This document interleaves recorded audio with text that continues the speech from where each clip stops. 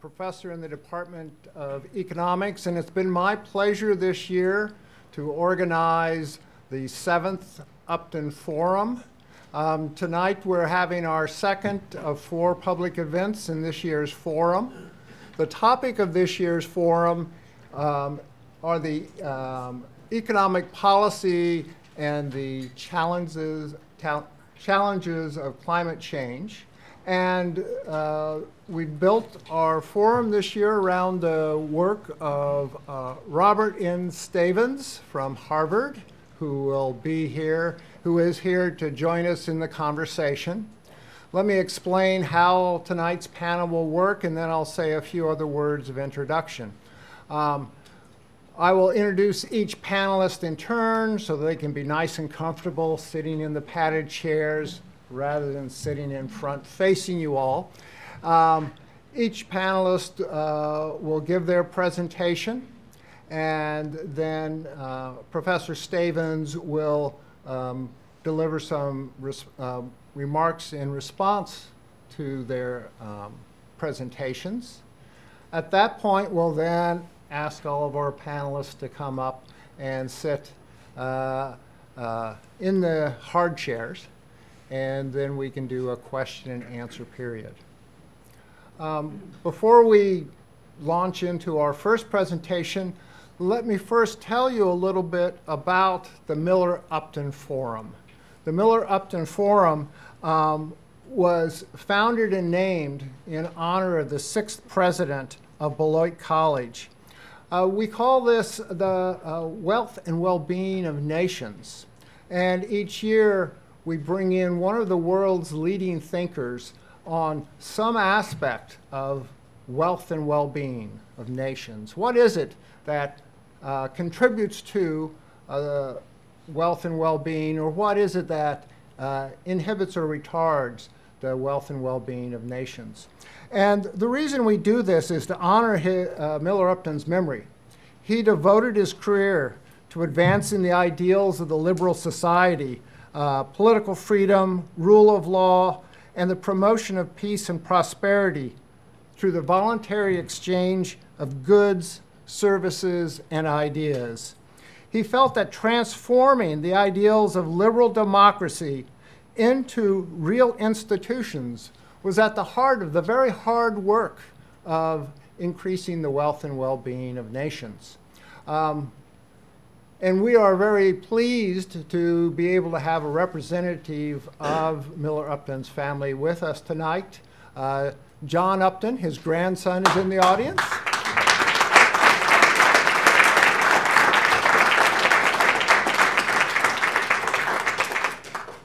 And we're doubly pleased because John is uh, a journalist working in the environmental area. Um, this uh, panel tonight is on renewable energy, climate change, and entrepreneurship. Let me explain why those terms are together. So we know that climate change is starting to take place due to uh, anthropogenic greenhouse gases.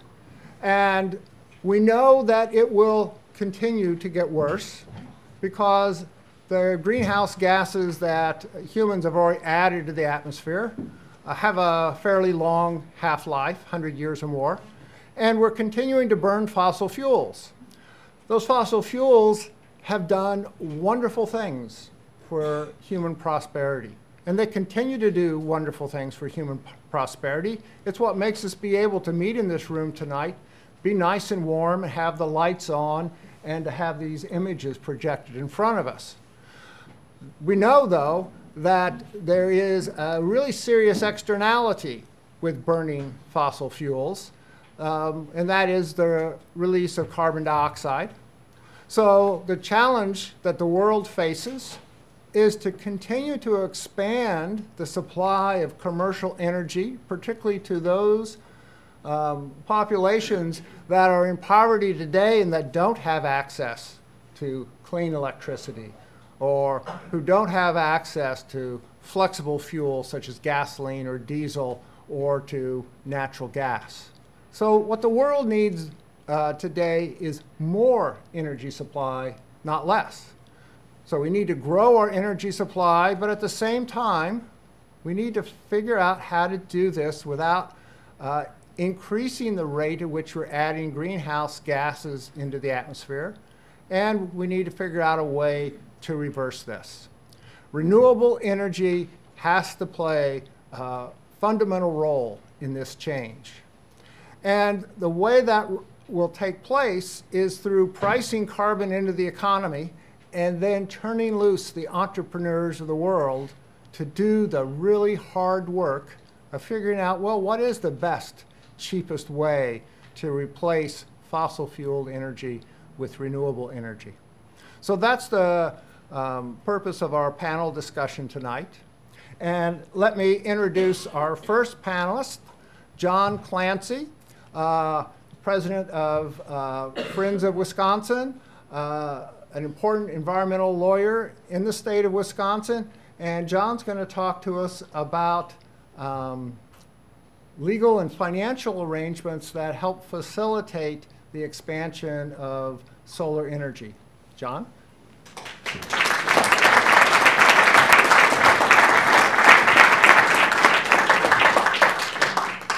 Thank you very much, Warren. As, as, Warren mentioned, my name is John Clancy. I'm an attorney in Madison, Wisconsin, and I work in the environmental area as, as well as the clean energy area. And I, he, I, met with Warren, and he asked me to talk about kind of a, a practical approach to solar power, to think it through, especially with the, the college uh, hopefully obtaining the powerhouse, uh, the project along the river from Alliant Energy, and turning that into a, a green, uh, sustainable, and beautiful building for, this, for the center, for the, for the campus, and an opportunity to really attract uh, folks to this part of Beloit and the Beloit College. But to think about that project as an opportunity to perhaps bring solar into the equation, solar to the college, and how can we do that? And I wanted to, to focus on a couple of kind of key themes. One is what Warren talked about, that obviously uh, the energy that the college uses now and that the rest of us in Wisconsin and throughout the United States use now, especially in Wisconsin, tends to be primarily coal-based. Um, and it has externalities that are uh, that apply to it or that, that come with it. Uh, there's the carbon externalities, but there's other externalities as well. I'll talk about those a little bit. But then I want to then move on to, you know, a, a, an entity like uh, Beloit College and other colleges and other nonprofits, frankly, typically have very strong sustainability goals.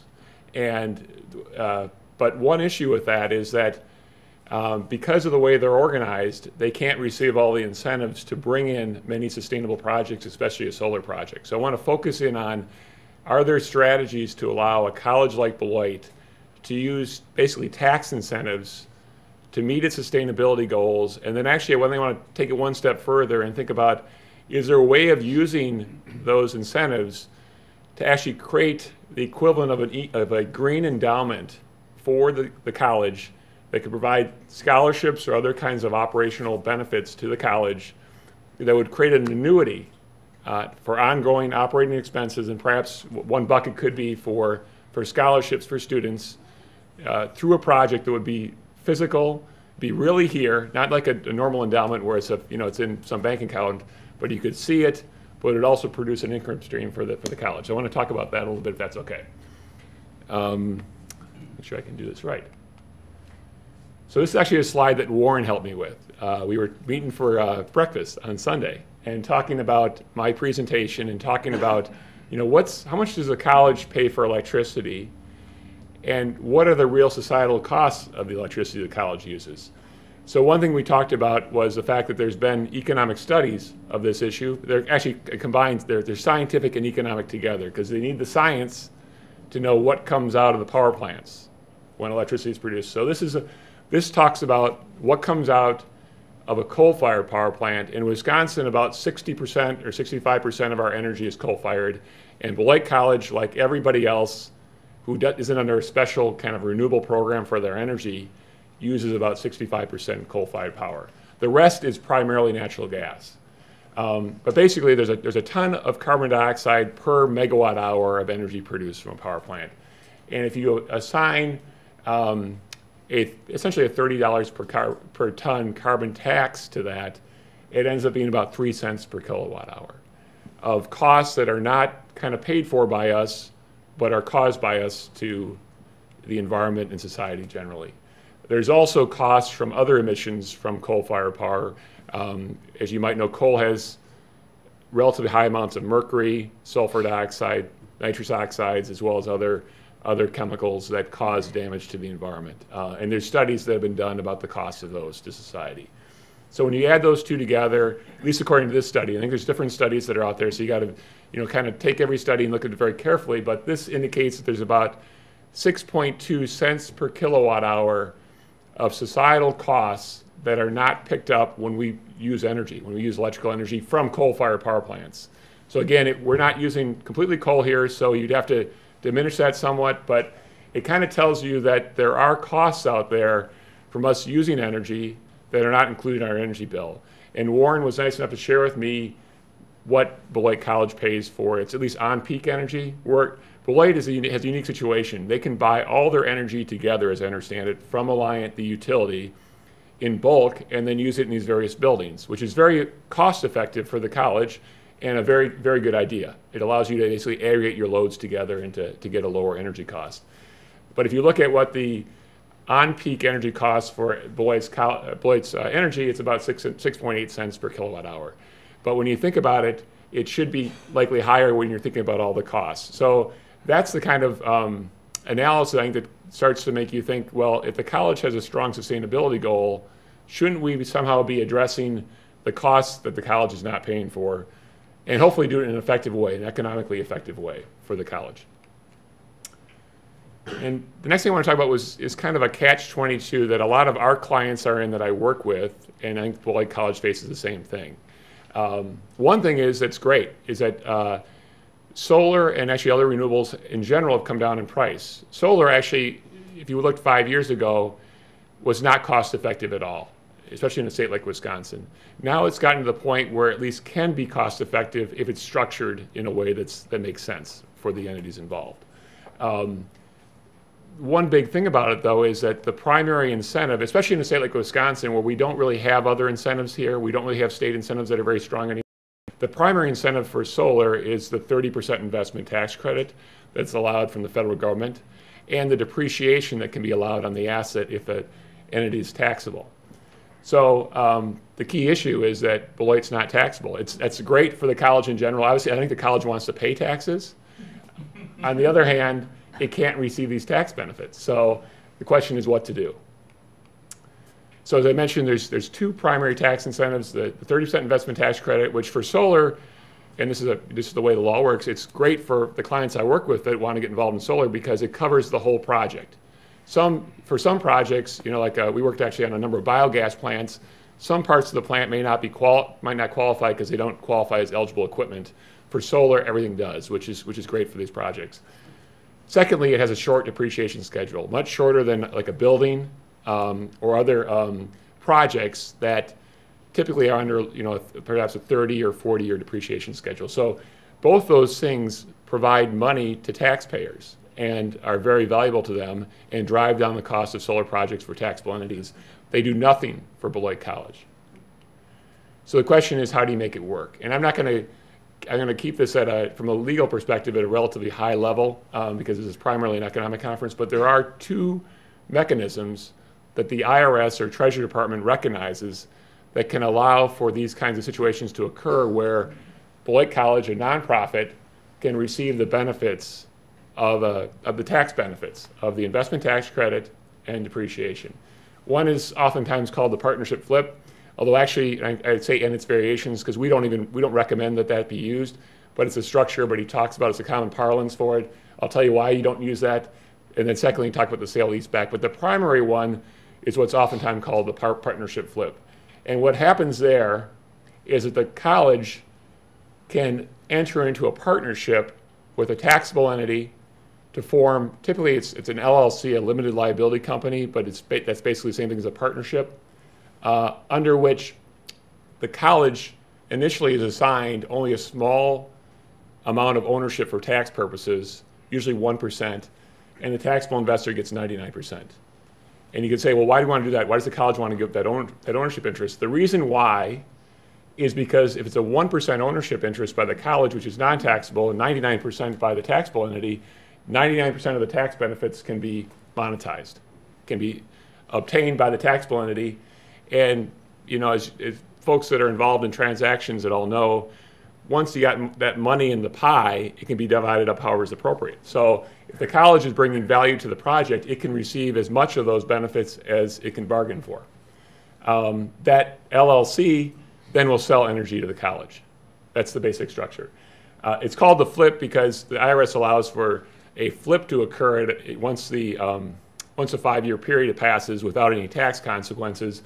But frankly, there's better ways of doing that where you don't lose depreciation. I won't go into great detail about that, but there's ways of doing it better than the partnership flip. The second structure is what's called the sale leaseback, and that's really all it means is that the college may build the solar plant, but it sells it to a taxable entity before before it's been operational too long, and then it can lease the plant back from the from the entity, and the entity, the taxable entity, can get the tax benefits. So this this structure actually allows for a completely efficient use of the tax benefits because 100% of the tax benefits can be utilized by the taxable entity. The issue there is, though, that typically there's a financing issue. The, the partnership flip allows the taxable entity to become part of, the, part of the partnership from the beginning, and oftentimes it will then finance the project for the non-taxable entity, or at least in large part. Uh, so that's the structure we've been typically using. Um, and the basic point is, you know, the question is why go through all this stuff? The reason why is because it matters from a financial point of view. And I guess when you think about it from a real high level, you can see where it makes sense. You know, you have the 30% investment tax credit that pays for almost a third of the project. Depreciation, I won't go into great detail about how it works, but you know, but you get back you get back on, on their taxes, they can depreciate the value of the asset over a seven-year period of time. What that essentially, a lot of investors would say that that has the same amount of value as a 30% investment tax credit to us. So you're basically paying for 60% of the project through tax incentives. So that's a lot better than the college doing it on its own. Does it on its own, it has to pay for it all itself. And so I'll go through some numbers I receive from one of the solar companies I work with often um, on both, both with and without incentives. But then when I talk about with incentives, I want to talk about that structure I talked about before, which is that, and this relates to some projects I'm working on right now, where I'm working with tribes and others that have the ability to, to raise money uh, for a portion of the project, which then further drives down the cost of the project and allows for a quick payout, basically under this power purchase agreement, and is used as a method in, in one case for a tribe to receive um, the facilities for free after just paying 80% of their normal costs of energy for five years. So it's a very good situation for it. I think what makes more sense here for the, the college is that this can actually create an income stream for the college, which could be used for, for scholarships or for whatever's appropriate to drive down operational costs. So this is a picture, you probably, I don't know if you've seen in the, in the paper. There's a big announcement about the, the powerhouse and the potential purchase of it by the college, and it's very exciting. It would create a real statement along the river and is, uh, is already going to be a very green building regardless of, of, the solar discussion. But the solar discussion allows us to think about maybe this could become a, what they call often a, a net zero building, a building that uses no energy from outside itself, or at least on a, on a kind of a mass balance approach ends up being net zero for energy. Um, so that's the building. And so if we were to integrate solar in and around that building and in and around the campus, the question is how would that work with and without the incentives? So without any tax incentives, um, you know, Warren again gave to me, uh, he gave me some, some numbers in terms of how much energy the, the college uses. And, I, and when I talked to the solar development folks I work with, or one of them at least, and we noted that you could probably put a 2.8 megawatt system here and not have excess energy that goes to the grid.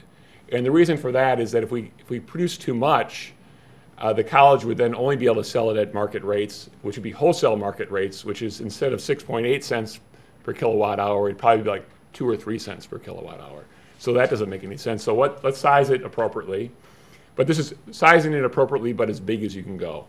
Um, and so if you look at it in terms of you know, how much would you offset in energy usage? Uh, we assume it at six cents per kilowatt hour. That's actually not as much as the on-peak, and the reason for that is that on-peak is only for weekdays, and you produce on weekends too, so you have a blended cost of energy.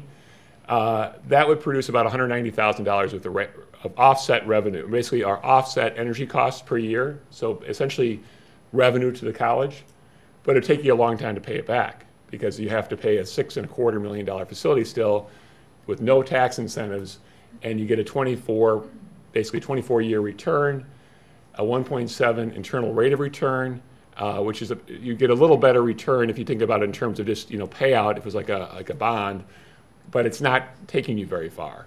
Um, and then you um, and then this is the kind of the key assumptions that were used. You know, you're gonna need a fair. One thing to just point on this is physical realities here. You're gonna need a fair amount of space for this facility, regardless whether you do it with taxes or tax incentives or not.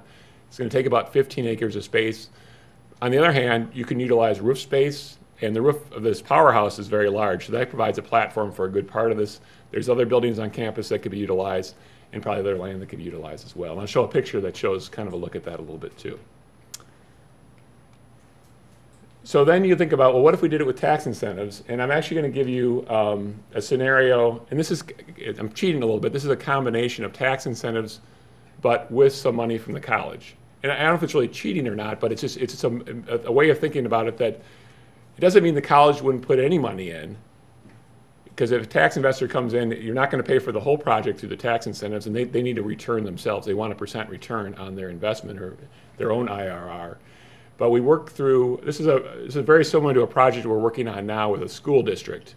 Uh, in that case, the school district um, has a bond issue to do a lot of energy efficiency work on the school. And they did the work, and they actually it was good. They, they were more cost effective than they thought they'd be. They have about $225,000 left over. So they're going to use that as their capital contribution towards the solar project, towards about a 400 or 400, $425,000 solar project, and are partnering with a tax, you know, a tax investor uh, to drive down the cost of the project. So this would be similar, but on a different scale, a much larger scale, obviously, about about 10, 10 times the scale. Um, if the college were to fundraise, let's say, $4 million for this project. And actually, uh, I talked back and forth with this person, Adam Gussie at, at, at H&H Solar, about, well, what should we make that number? And we were talking about the fact that, you know, should it be half or should it be less? Because you could also go lower and then have a higher power purchase payment, or you could go higher and have a lower power purchase payment. We were talking about the fact that, although the, the college obviously has a, has a big task ahead of itself to raise money for this powerhouse. But on the other hand, and with the nonprofits I work with, it's much easier to raise money for capital projects than it is for operational expenses. And I think the college experience is the same thing. And it's much easier, it's kind of much, much easier to raise for cool capital projects than it is for boring ones or bo really boring operating costs, you know. So the question is, how do you, how are you most effective in your fundraising and, and use of your assets? And so one thing we usually do is, again, we work with our clients to identify low-cost opportunities for money for them to contribute to these projects. For instance, um, with the tribe I talked about, I think, well, I, think I mentioned, the, I work with the, the, tribes as well as other entities. A tribe I'm working with now, we worked with them to get a DOE tribal energy grant, a $1.4 million grant for a $2.8 million project. That's real free money for it. Um, the, the school district example is one where you have relatively low cost money for it. This is another example of, I think, in the scheme of things, relatively low cost money for the college because you're making the powerhouse project kind of cooler, you're making it more sustainable, you're making it more attractive to essentially your investors, the donors that would help pay for the project.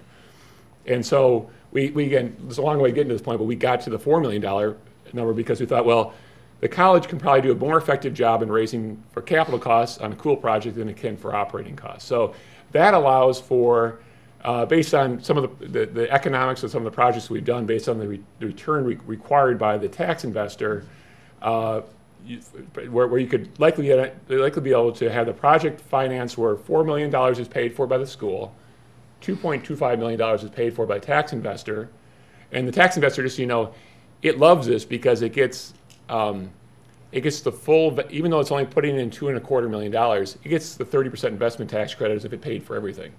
So that takes care of a good chunk of its investment already. Plus, it gets the depreciation available on the project. So this would allow for a, a much lower PPA than what the college is paying for energy. And so it could buy energy at two cents rather than six cents. And then at the end of six years, there probably have to be some kind of a buyout because of the way tax law works and to, to make it work. I don't want to go into great detail about that. But this would provide for about $130,000 savings now for the next, you'll say, six years Plus, at the end, it would probably, if you assumed 3% energy costs rising, which is a, which is a very probably conservative assumption, um, we be, the college would be making basically $220,000 a year at that point in time. which would increase by 3% per year.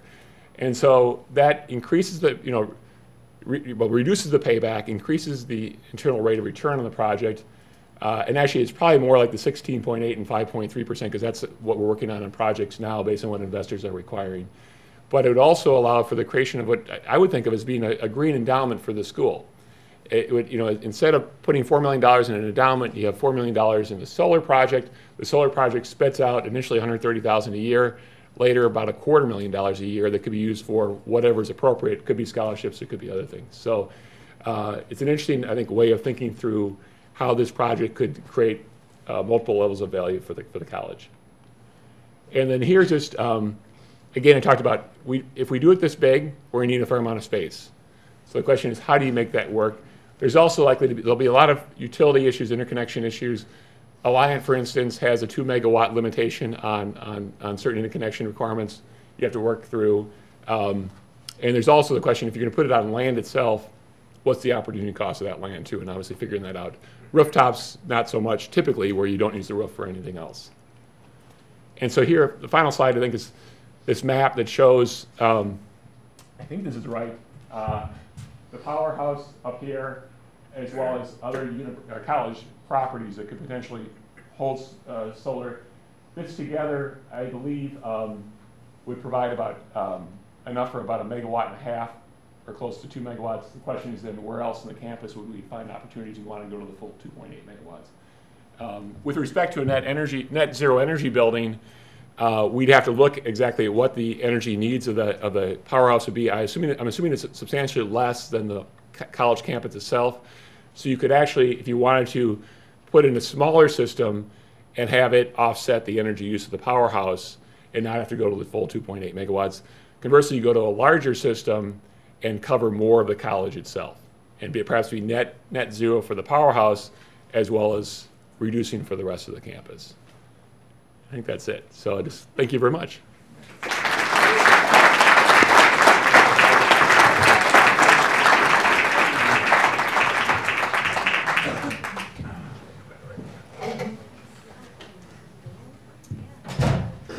I was about to ask if it was seeming a little chilly to you over there.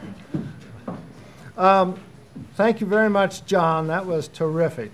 Um, I really want to thank John for managing to squeeze an hour-long presentation into 20 minutes.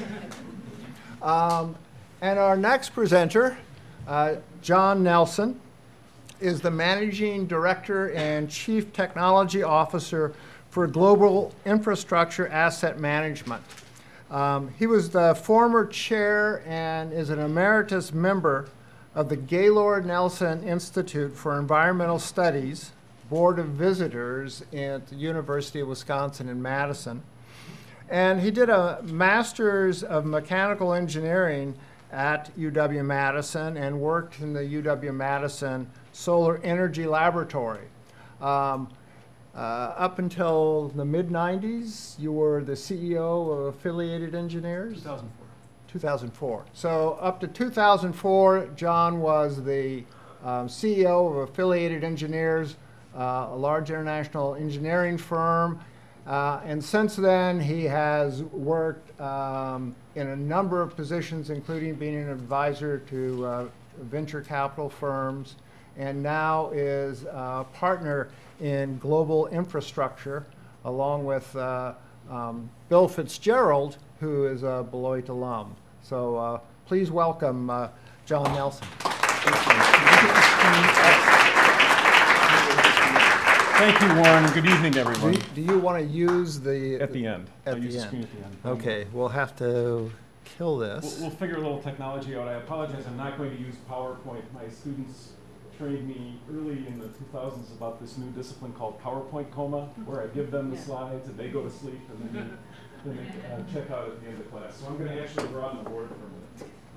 Thank you. That was a remarkable presentation, John. Uh, and uh, I'm going to pick up a little bit on, on some of the some of the ideas uh, you presented. And I'm I'm representing the entrepreneur element of the agenda or of the title. Our company raises capital in the private markets and deploys it in either companies or projects. Thank you. Our company raises capital and deploys it in either uh, companies or projects that do the kinds of things John talked about. In fact, our companies, some of my partners have collaborated with you on other matters before. So we might be that vehicle that would allow the project to occur that John talked about. But I'd like to take a step back first and talk at the first principles about our ideas about this marketplace. And uh, the reason I want to do that is because the way entrepreneurs get it, take advantage in the marketplace is when they realize a need that will exist in the future and they get ahead of that need and put themselves in a position to solve that problem uh, before the market really knows it, it needs it solved so that the market kind of comes to you. So I'll, I will begin my remarks with just a real simple diagram about how man conducts, humans conduct their business with nature. Uh, this gets to um, uh, uh, civil engineering quite a bit. But right now, the transactions between man and nature occur principally in a vertical manner, right? Where man either extracts or put something back in nature for economic benefit. And the point that John made is that we don't actually we only price the economic benefit to us. We don't price the cost to nature. That's the differential that he talked about for externalities in the cost of electricity, right? So from a very fundamental perspective, we're now in the Anthropocene. And we believe at Global Infrastructure Asset Management that this transaction has to change from vertical to more horizontal, more balanced. That this relationship between man and nature has to become more balanced. Now, this is a pretty literal representation, but this is, this is now, and this is the future. And we're betting that, that if we figure out how to do that, we will be ahead of, in economic terms, we will be ahead of uh, the competition. So that begs what's, you know, every research uh, pr project needs to begin with asking the right research question. So, what's the research question? And I'm about to commit heresy in a group of economists. Uh, but, but you invited me here, so here we go. At first principles, is this an economic problem that can be solved simply by financial means? Or at first principles, is this a physical problem? Where's Paul? A physics problem.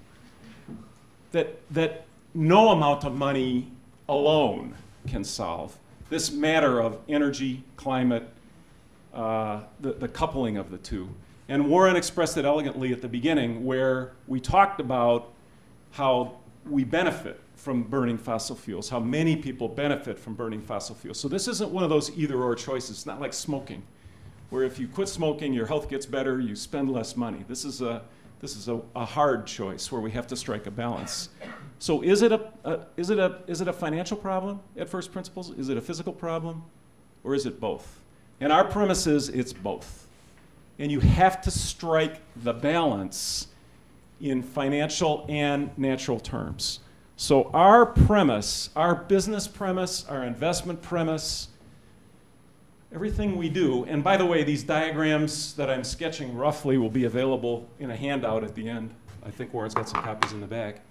Everything that we do is uh, seeks to find this balance between these two poles, one of which is financial motivation, and the other of which is environmental or natural motivation on this fulcrum around social capital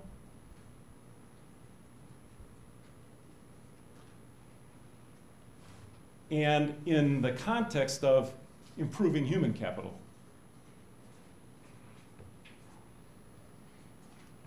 Okay? So uh, the, the, the striking the balance is, is the key. For us as entrepreneurs and for how we deploy our capital, which is often your money, one way or the other. And I, I will, I will take one exception with John where he said free money that came from the government. That's not really free.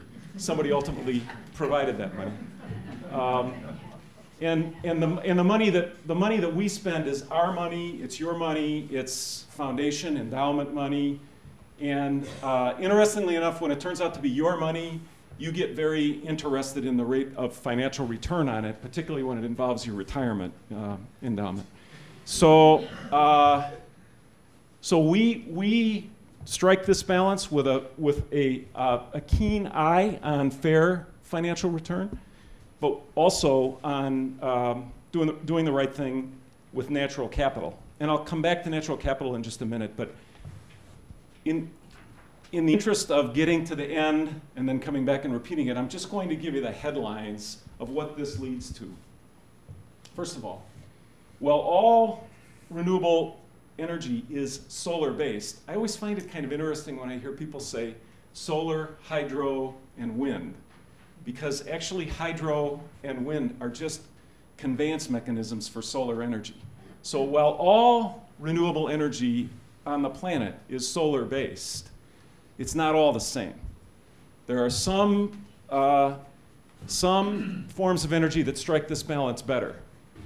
I make all my electricity with solar PV, uh, but we would not invest in John's project because it is, in our opinion, over financialized. It's very complicated from a financial perspective, and it relies on a resiliency of financial predictability that you can't really build a business around because we had an election yesterday and all of those things that John's uh, structure relies on could go away. Not that they'd go away for the project that you, that you proposed, but we're building businesses that need to, need to be able to do this over and over again for a long period of time. So some do strike the balance very well. Hydro strikes the balance well.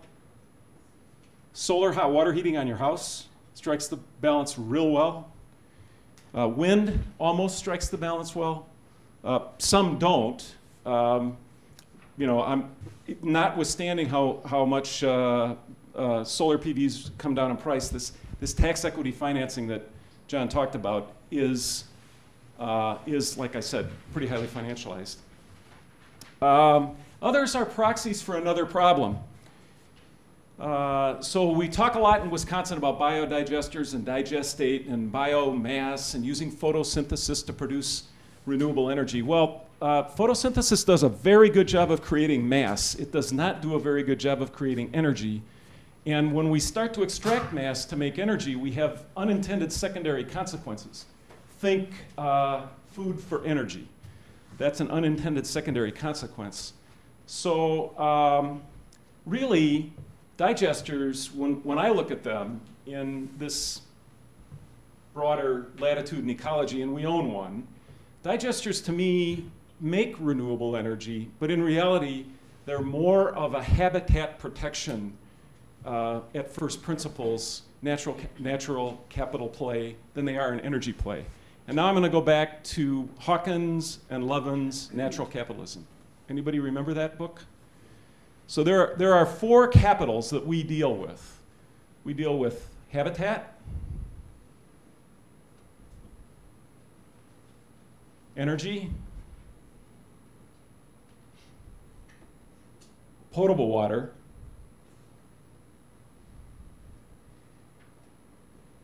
and atmosphere.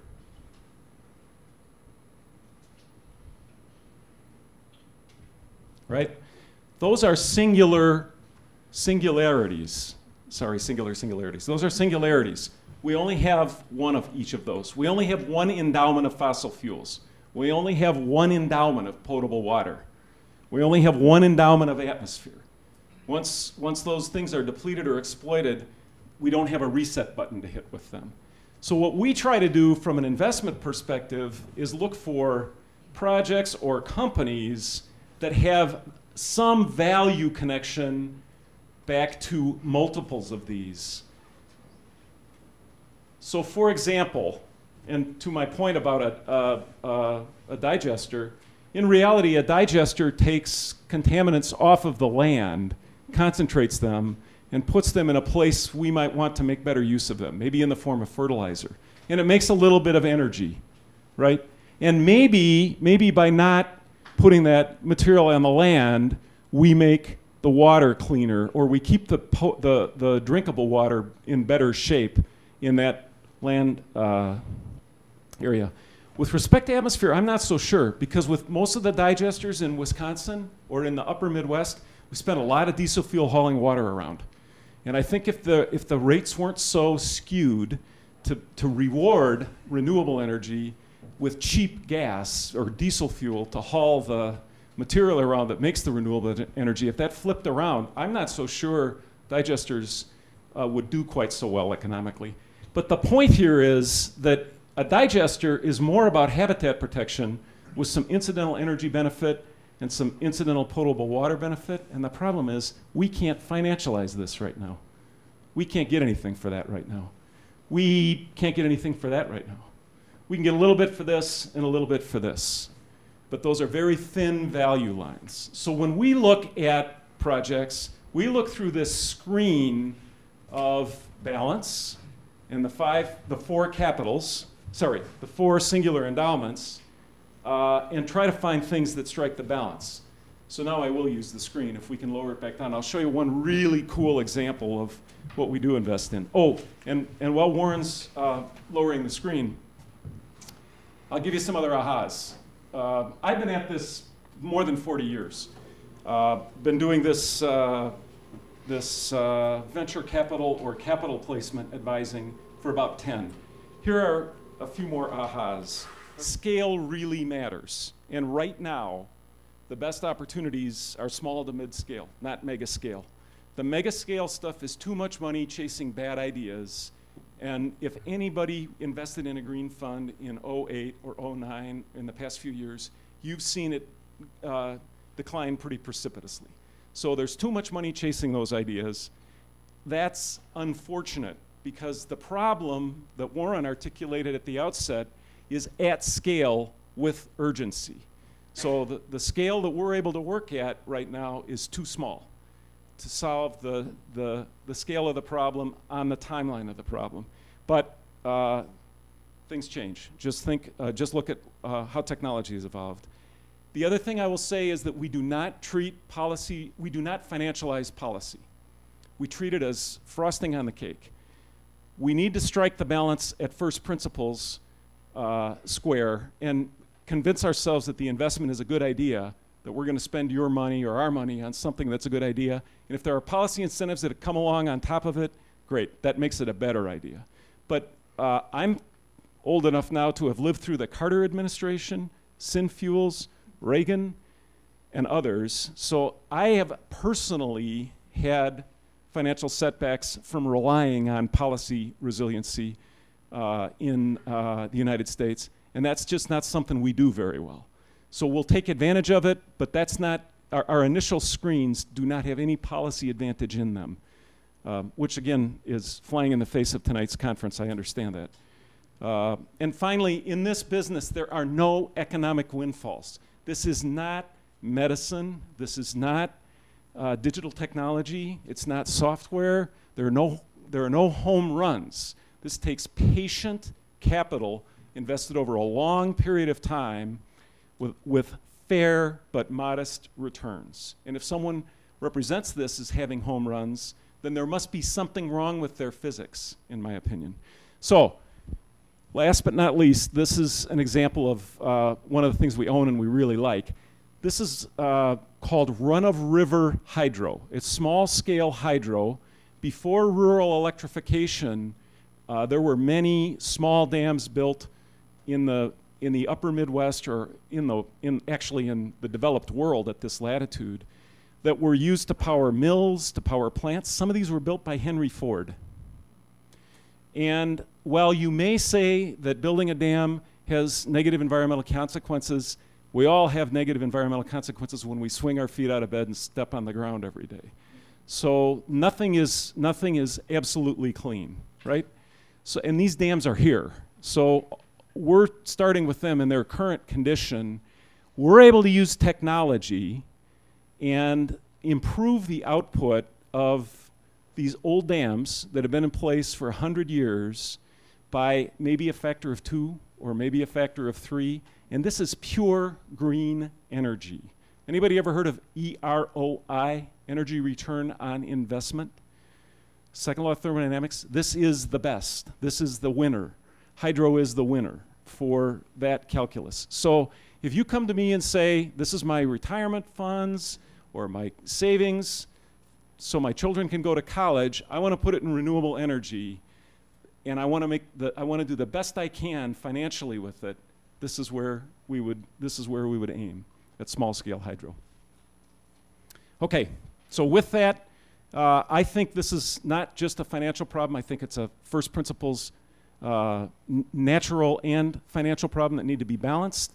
I think we need to use uh, uh the five capitals natural capital, and financial capital with social capital, human capital, and manufactured capital infrastructure like we build, all in play. And I think we need to protect the four singular endowments. And as we get this figured out, I think we wind up in a spot ahead of where the market is right now, because the market doesn't think in those terms. Thanks, Warren.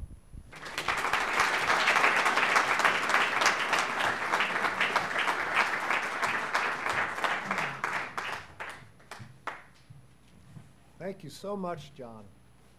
Um, our next speaker um, is Gene, Eugene Zeltmann, uh, Beloit class of 62, a trustee of Beloit College, who has had uh, quite a distinguished career uh, is one of the uh, best experts on electric power uh, in the country. Um, because he was the uh, head of the New York Power Authority, and uh, since leaving that position, he's been on the board of directors of the organization that runs the electric power grid in this in the Midwest part of the United States. Um, and John is here to, uh, sorry, Gene is here to talk to us about the challenges that the grid faces in being able to integrate uh, renewable energy. Gene Zeltmann. Warren, thank you.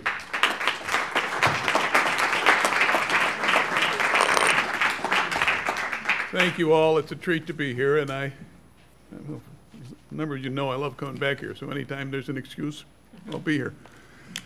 I think it's right at the beginning, I want to suggest that uh, my comments are, are mine, and not necessarily those of the Mid-Continent ISO, but they might overlap in a few places.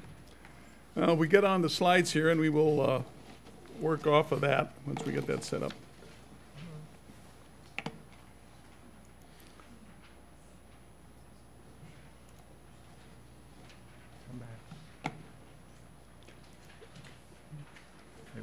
Okay, good, thank you. I'm going to give you the agenda.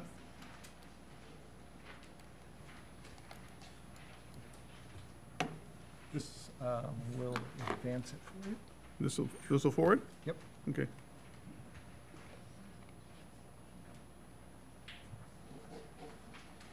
Let's let it actually, I'll try it.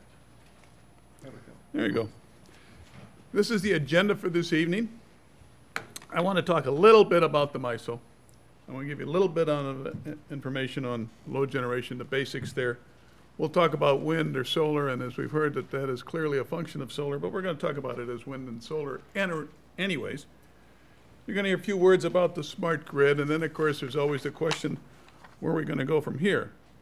Now, taking a look at this chart, you see that the history in that chart goes back to the 1880s when we had not a lot of people getting electricity.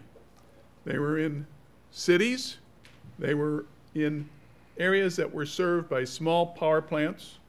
They were not necessarily connected, and that went on for a long period of time. The rural areas really didn't have all that much electricity. In 1930s, Franklin Roosevelt, I hope some of you happen to see the Roosevelts in PBS. I thought that was just terrific. But Franklin Roosevelt formed the New York Power Authority, and from that there was then the beginning of public power for more rural areas. In the 30s, mid 30s, 35, 36, Tennessee Valley Authority began to develop again under, under his aegis and promoting. And so now we had not only electricity in the cities, we also had it in rural areas. Along comes World War II, and there was an enormous, enormous amount of electricity which was consumed in the war effort. And some of the things that were created during that time period, we still saw at the Power Authority. For example, from Utica up to St. Lawrence in that area, there were a number of a river in Massena in New York State, Plattsburgh. There are a number of aluminum plants, wooden poles. They're still there.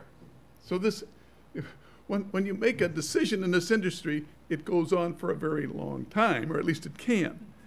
From World War II into the 50s, there was pent up demand, and you could almost be considered a genius because you'd do one of these things and say, I think electricity is going to grow at 7% a year. And indeed it did. And that went on until the middle 70s when we began to see some constraints.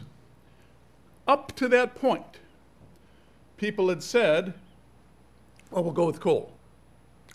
Then there were some problems because John L. Lewis and some of you who read this kind of history know that that was not a great thing to, from an economic point of view, to have one sole source supplier of energy in the country. And so from coal, we said, well, let's have some oil. And then in the middle 70s, a little later than that, we began to see some perturbations in the Middle East. Oil went from $2, I don't know what it was, $2 a barrel or and we were paying 20 or 30 cents a gallon for gasoline and began to escalate. There were some problems there. And, and then there were some problems. Remember, it was Nixon who started the Environmental Protection Agency because people were concerned about environmental emissions.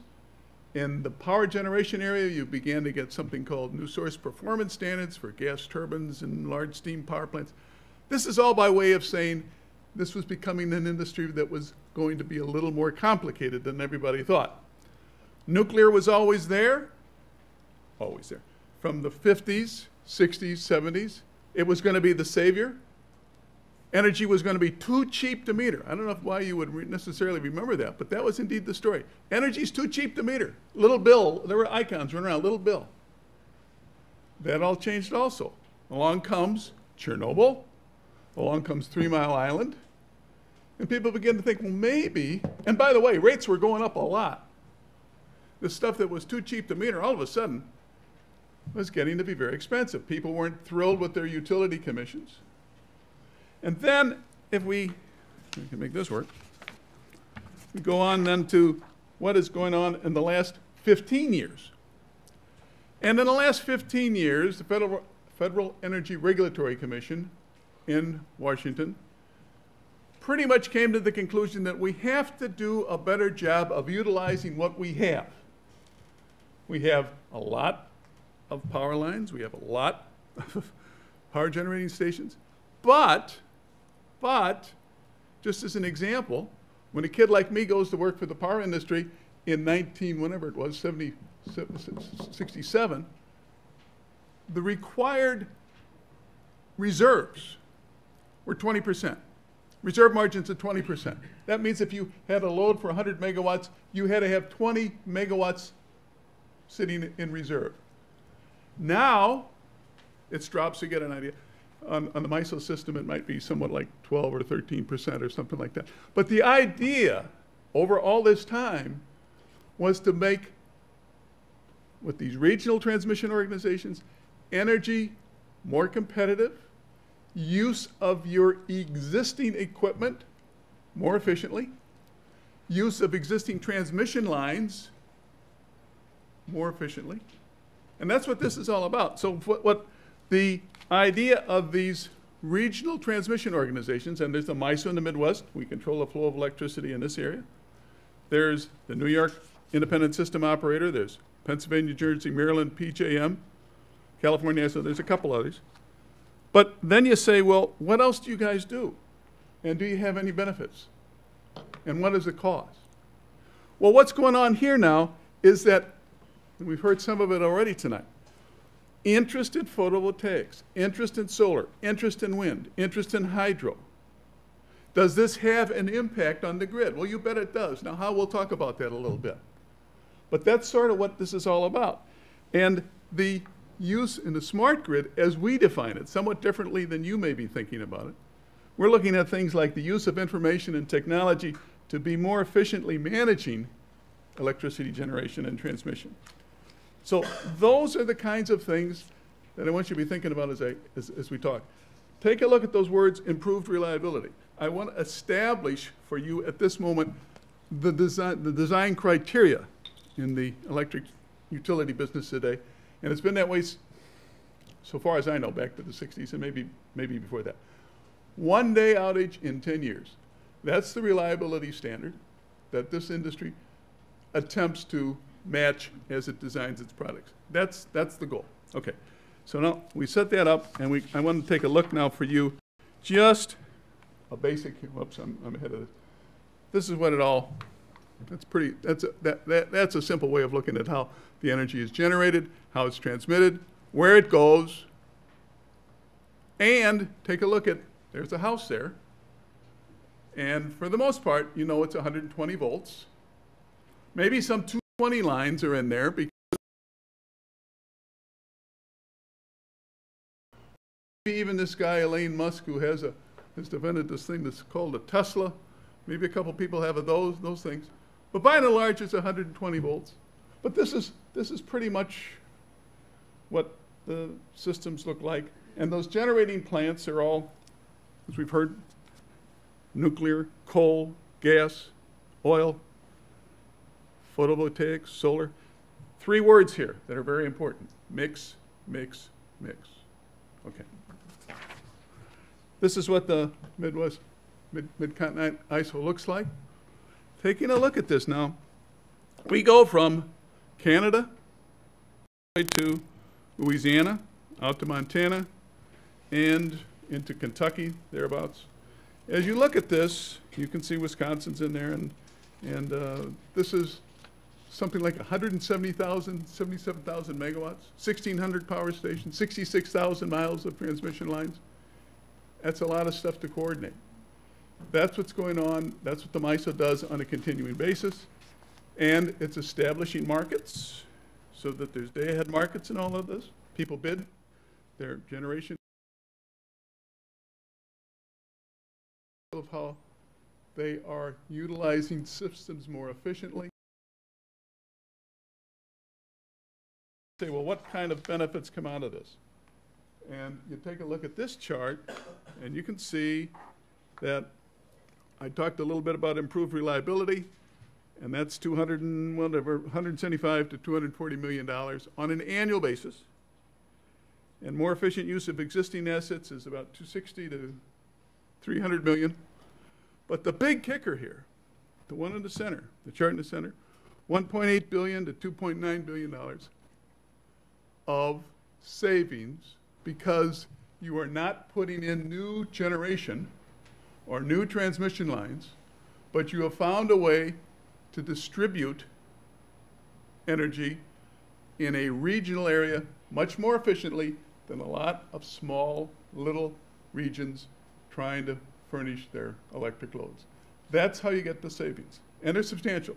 The cost of this thing, about $210 million a year, is part and parcel of, of, of uh, so that's how you get down to 2 million to 3.1 million, the $3 million, up $3 billion a year. I want to be sure I say this at least once tonight. There are opportunities for jobs for Beloit students in this organization. Don't forget that. They are based in Carmel, Indiana. They have offices in Eagan, Minnesota. They have office where we have a control center. We have a control center in, in Carmel, Indiana. We have control center, our new control center in Little Rock, Arkansas. Just keep that thought in the back of your head. Taking a look here at the how generation is dispatched, this is what we follow at our control centers. This is load that, no surprises here, base load at, is the dark blue, but notice that it is a, this is an integrated load pattern. and, Typically, you'd see peaks and valleys and things like that. But at nighttime, the load is down, and the daytime, it goes up. And it's the job of the control center in Carmel, Indiana, to be sure that when these demands come in from all over that big region you saw in that chart not too long ago, from all of those regions. These guys at these control centers are sure that there are transmission lines for this to flow on, that there are generating stations from which this power is generated, and that the people will continue, and the industry will be continue, continue to have their lights on. Now we get to the subject of this whole thing, in terms of this conference. We have seen a very, very large increase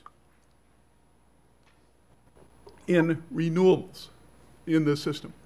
I've been a director for almost eight years.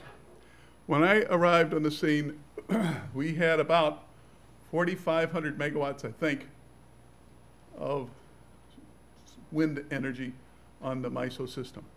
There were enormous incentives which were being followed by wind developers. We had years of, in the, of people in the queue waiting to get sited. That was really, we were trying to figure out how we're going to do all that well. This was an industry which was growing rapidly. and as it did that, there was an incentive for us as a independent system operator be sure that there were transmission lines for this energy to flow on. Developers didn't necessarily have to do the transmission lines. They furnished the energy. The regional operators had to figure out how to, how to distribute it. Now, as you take a look at, your, at the charts, the wind was about 70% of the renewables, biomass, and solar in our region, or about 6%, and hydro is about 24%. The renewable, therefore, was about, as you see from the chart, about 19,000 megawatts. That makes the wind, I don't know, 13, 14,000 megawatts.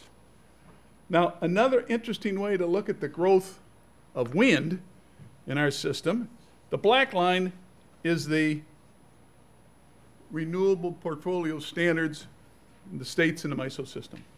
Starts out 2009 essentially zero, works its way up to a lot in 2025. But notice, and this is all this is energy that's generated in each year, not installed capacity, but a generator installed in each year. Notice that, at least in our region, we have generated more than the renewable portfolio standards. That's a very good accomplishment, say I. That said, there's a lot of challenge to continue to follow that black line up.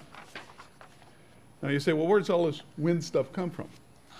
And the interesting part is where it's coming from here is North and South Dakota, and then you're looking at Nebraska and Iowa. Um, some question, you immediately say to yourself, well, what's going on here? I mean, there's no people to speak of, not to diminish anybody, but there's no people in the middle of that area where all that wind is. They're not going to use that energy. How are you going to do it? It comes right back again to this whole concept of having the transmission lines, using existing lines, creating lines where they need to be created, and not so incidentally, finding ways to get people to pay for this stuff. That's always a big deal. And so that's one of the things that we do as a planner. We not only create markets, we also do a lot of system planning in our region. And we bring all our participants, those who are our partners in the MISO, our, and, and we facilitate. And we have some pretty heated discussions as to how this is going to sort, who's going to pay for what. And by and large, it has worked pretty well so far. We do projects that and on an annual basis, they might be a billion dollars, they might be up to $5 billion, who knows, but it's a lot of money. This is a chart of the renewable portfolio standards, the requirements. Notice that the blue are the mandates. Wisconsin has a mandate, 10% by 2015. Montana has a mandate, 15%. Notice by 2015. Notice that Minnesota has a very significant mandate. By 2020, it's 20%. I think it's 25% by 20,000 by 2025. There are some people that have goals. Indiana has a goal of 10% by 2025. Notice it's getting closer to coal country. And notice in coal country, Kentucky, they don't believe in this stuff. And, and, and, and so it's, it's it what I, I said this a little earlier, but there's a, and I've heard it at the conference today. There's a lot of public policy that goes in with this sort of stuff. Not just markets, but there's a lot of public policy. And as one of our speakers said earlier, you can bet on something and you have an election and everything's gone. But that's what you learn to try to deal with. You should deal with these things. Now, the wind has significant operational impacts on the MISO. And as you take a look, let's get it, let's help you take a look. Taking a look at that chart, you'll notice how many gigawatt hours come on any given day. That is all over the map. That's up and down, that's up and down. And when I started with all this at uh, 2006, we really had some issues because the wind had blown and then stopped and you say, uh, well, what, better get that coal plant going again, or you better get that gas turbine going, or have something spinning in spinning reserve ready to follow it. Is that cost effective? Well, maybe it is, maybe it isn't, but you know you're burning coal, you're burning oil, or burning something, not generating power until this thing goes offline, then you're there to back it up. But interestingly to me, and I didn't really think this was possible, but interestingly to me, the forecasting in this area has really become very, very good. I've been surprised at that, in all candor. I was walking in uh, a soybean field about four, four years ago at one of our meetings in Minnesota. We all went in a bus and they were showing us big windmills all over the place, not too unlike what you see when you travel down, whatever it is, uh, coming from Indianapolis to Chicago. And anyway, up in this Minnesota area, there were windmills everywhere, and they were all standing dead still. I said, well, that's great. And, but we had a forecast that they were, they were going to start at 1 o'clock. And at three minutes to one, by God, these things start to turn. I couldn't believe it. But it was just a demonstration that there's some pretty good forecasting capability now. By no means perfect, and it's going to help a lot when people come up with some good reserve, uh, good res uh, I'm sorry, good storage stuff. All right, taking a look at this, and you've seen one of these solar uh, arrays on an earlier chart this evening. The only point of this chart is to show you where all the solar is. Not a big surprise. Uh, largely for those people in that, in that area, because first of all, there's the interconnect between us and that area is kind of hard to get through. Uh, so in any event, you, point of the chart is to see the pros and cons. Uh, it's still costly. Prices come down a lot, and it probably will continue to come down, but it's still costly. A lot of photovoltaics on roofs. That's been an interesting, from my perspective, that's, that's been the sort of thing where people can do a pretty good job of, of uh, furnishing your own local needs. You get a lot of hot water, you get a lot of pools, and then uh, heated. And then the question is, how about the electricity side of all this? And that gets to be a little dicier, but it's still a possibility.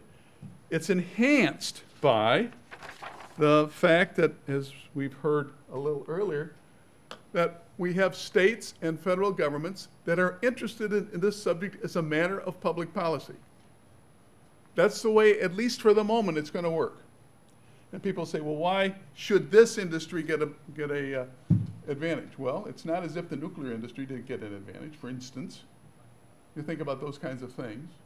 And then we heard from some of the other issues about, the first speaker talked about, well, there's this inherent destruction, or damage to the environment that goes on with, let's say, coal that isn't accounted for. So these are the kinds of things that you think about when you talk about the advantages of it. It takes a lot of public policy lobbying in this area. Make no mistake about this, I give my headset is off to those guys, those people that have presented this subject to governments and to the federal government and saying this is a good idea. Now I suggest to you this stuff is enhanced by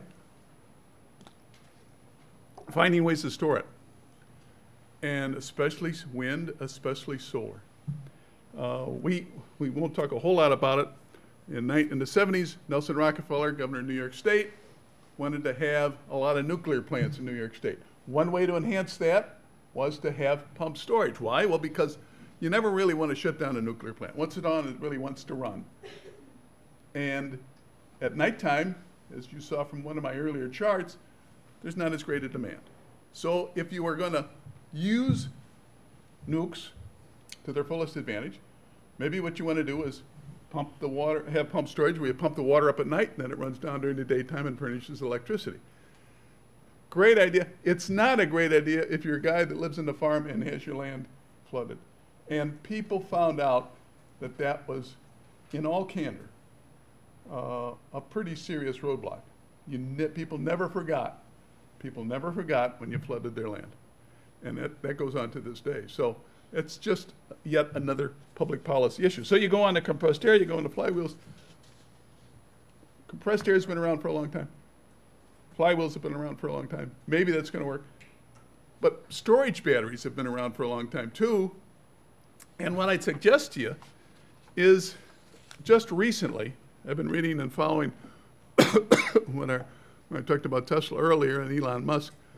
He's putting a plan together, I believe, with a lot of federal money and maybe Nevada money for a battery storage plant in Nevada. And he has a real interest in doing that because his lithium ion batteries are what power the Tesla. And their battery pack is about $30,000 right now in each car. They need to bring that price down. And so, if those batteries work, he has a terrific way of storing the solar energy idea that he's putting together in Solar City in Buffalo, New York, another billion dollar, more than multi billion dollar investment. But if these things were to come together, all of a sudden wind and solar have a lot easier way of getting absorbed into the system because it's a lot easier to store this stuff than it is to figure out how you're going to continue to back it up. One cautionary note. One cautionary note. Don't do all of this at once. Don't forget the three magic words mix, mix, mix. Germany is doing their best to go from a coal based, nuclear based economy to all wind. And their goal is to get renewables into 40, 50, 40 to 45% of total generation by 2025 and 80% by 2050. They've taken out the nukes by 2022 and of course reduced consumption by 20 by 25%. Now the issue there is that there's a very significant cost involved. And it is very important to recognize that when you're doing something like this, you can really raise hob with your economic environment.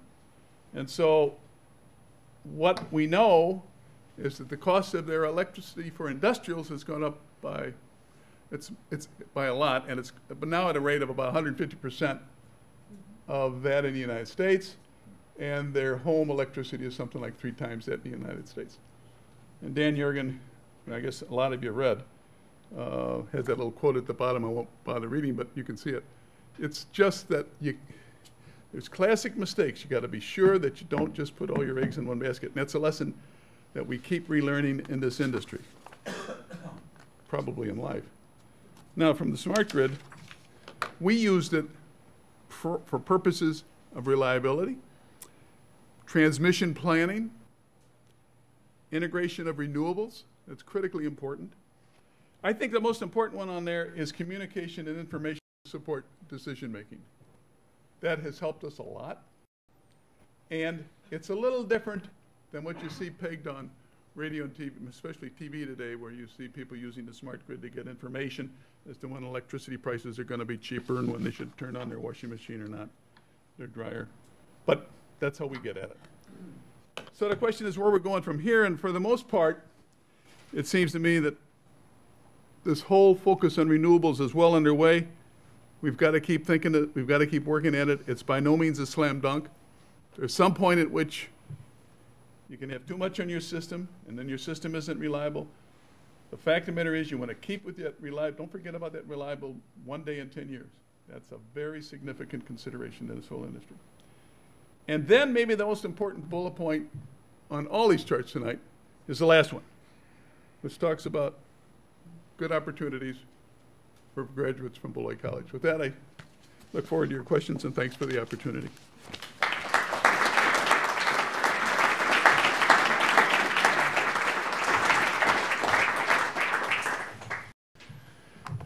Thank you very much, Gene. Uh, again, I keep uh, inviting speakers to cram an hour and a half worth of material into 20 minutes, and they do an astoundingly good job of it. Uh, I will introduce our uh, fourth speaker, who um, is Lynne Kiesling from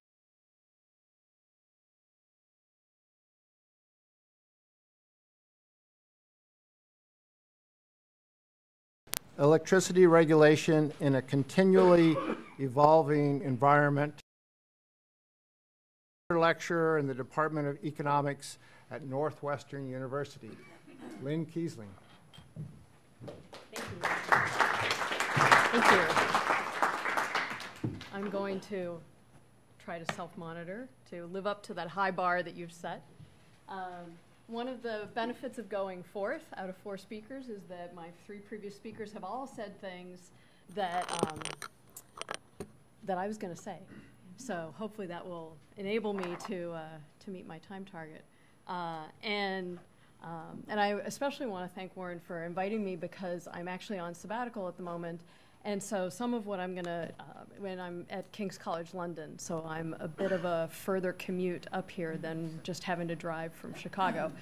Uh, and so thank you for, for having me. Um, and so the ideas that I want to talk with you about this evening are questions. And these are research questions that my collaborator and I, this is, is um, joint work with Mark Silberg, who is a class of 2014 Northwestern graduate and um, is going to go on to do much, much uh, more important things than I will have ever done. Uh, we have some questions that we want to explore having to do with the growing market for residential solar. So some of what, uh, what Gene alluded to as the exciting stuff going on on rooftops. Uh, and that has caught our interest. And in particular, um, a, a interesting fact to start with is since the beginning of 2010, the installed residential solar capacity in the US has grown by 232%. And that's a big number it is a big number growing from a pretty small base, but still it's enough to, to get us thinking, you know, hey, what's going on here? There's some really interesting things going on in residential solar. And so we want to explore that. And there are a few different motivations. There are three motivations in particular that drive what we are embarking on. Um, the first is my longstanding interest in um, digital innovation. You know, and one of the hats I wear is one of the hats I wear is economic historian, and one of the other hats I wear is technologist. right. So you know, reconciling all of those. Um, and and for the past decade or so, I've been doing a lot of work uh, on smart grid, and in particular, smart grid interoperability standards, and at kind of an architectural level. And um, so one of the things that is is really an interesting motivation for what what I think is is going on and what is a, a pivotal time in this industry is the amount of digital innovation that has been going on from outside the industry. Right? A lot of digital innovation that we have seen, and that, to quote John, has you know how technology has just transformed our lives, right? And that we are capable of doing and creating and being people and things and activities and relationships that we could never have imagined before digital technology. And um, this has, has come into the electricity industry slowly, but it is happening. And Gene alluded to some of these. Um, I've got, you know, up here a depiction of the standard traditional physical flow and the standard traditional value chain in the electricity industry, which is unidirectional right, from generator to consumer in one direction, and that the, the physical grid network has been engineered for that unidirectional flow. And this is an electromechanical network with meters with the spinny dials. Um, what digital technology enables us to create is a more diverse, more heterogeneous, more multi-directional set of value flows and set of physical flows, which requires some re-engineering and thinking about you know, the architecture, the physical architecture of the network, as well as the economic architecture. But if you look at this depiction of, of whoa, sorry, wrong, wrong button. There we go. This depiction of, of a, a kind of a hypothetical smart grid, it's got some of the kind of stuff that John was talking about um, with the you know solar rooftops, um, backup generators on hospitals, all kind, you know, wind farm over here. There is diversity and it's distributed diversity of both consumption and production in this system. And interestingly, you know, in this kind of unidimensional sphere that you know traditionally we've had, generators are generators. They're producers. They produce. Consumers are consumers. They consume. But once we have residential consumers who have a Tesla in the garage, who have solar PV on the roof, what does that mean? You, as a consumer, are also potentially a producer. Your, your identity in this, in this system, your potential relationship with others, is very different. And that means difference in physical flows and difference in economic flows. Um, but these physical and economic flows obviously are conditioned on the institutional environment, right? Then by institutions in economics, what do we mean? Institutions are the formal and informal rules and social norms by which we structure our relationships. And so, uh, so in other words, the rules matter. And they're both formal and informal. And so, uh, you know, as someone who studies regulation from an institutional perspective, that's what I'm curious about is as we experience all of this rich technological change, how well does, does our institutional framework enable us to create that robust, resilient, reliable, um, creative technology environment that is, and, and here I will, will be very explicit about owning um, my, co my co-authors and my kind of normative you know, thing that we're inserting in here, that if we are going to create a low carbon future and a clean tech future, uh, innovation is the number one part of the story. That it, having, having a set of institutional arrangements that are compatible with innovation, that are compatible with individuals harnessing their creativity to go out and figure out new and different ways to maintain our living standards the, and the, the, the ways that we want to get the most out of life while also achieving that balance um, of economic and environmental objectives, innovation is going to be the name of the game. Um, our other motivation is that there's a lot of really cool stuff going on in solar from an innovation perspective. And it's not just going on, and it's hard to see here, but I want to focus your attention on the really dark blue here. So there's really dark blue going on. That really dark blue is the residential solar. And that's where that, you know, since 2010, this 232% increase across the country is coming from. So residential solar is growing. And you can also see utility level solar is growing too, but, but I want to focus on the residential because I think that's the, a, a really interesting part of the story. And here's why I think that's an interesting part of the story. A lot of innovators uh, are entering this space. And I think both John and Gene alluded to, you know, Elon Musk is a, one of the founding, you know, investors in Solar City. Uh, and uh, one of my favorite quotes from him is very much the, you know, when I go out and build a business, I build a business to be sustainable, which means I don't chase subsidies and that's not a direct quote, I'm paraphrasing him, but this idea of having a sustainable business that isn't just policy reactive.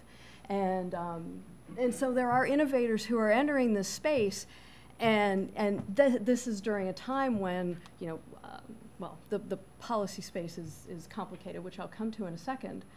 But um, what really got me thinking about this is there was a New York Times Magazine interview in 2012 with uh, Danny Kennedy, who's the founder of Sungevity, and used to work for Greenpeace.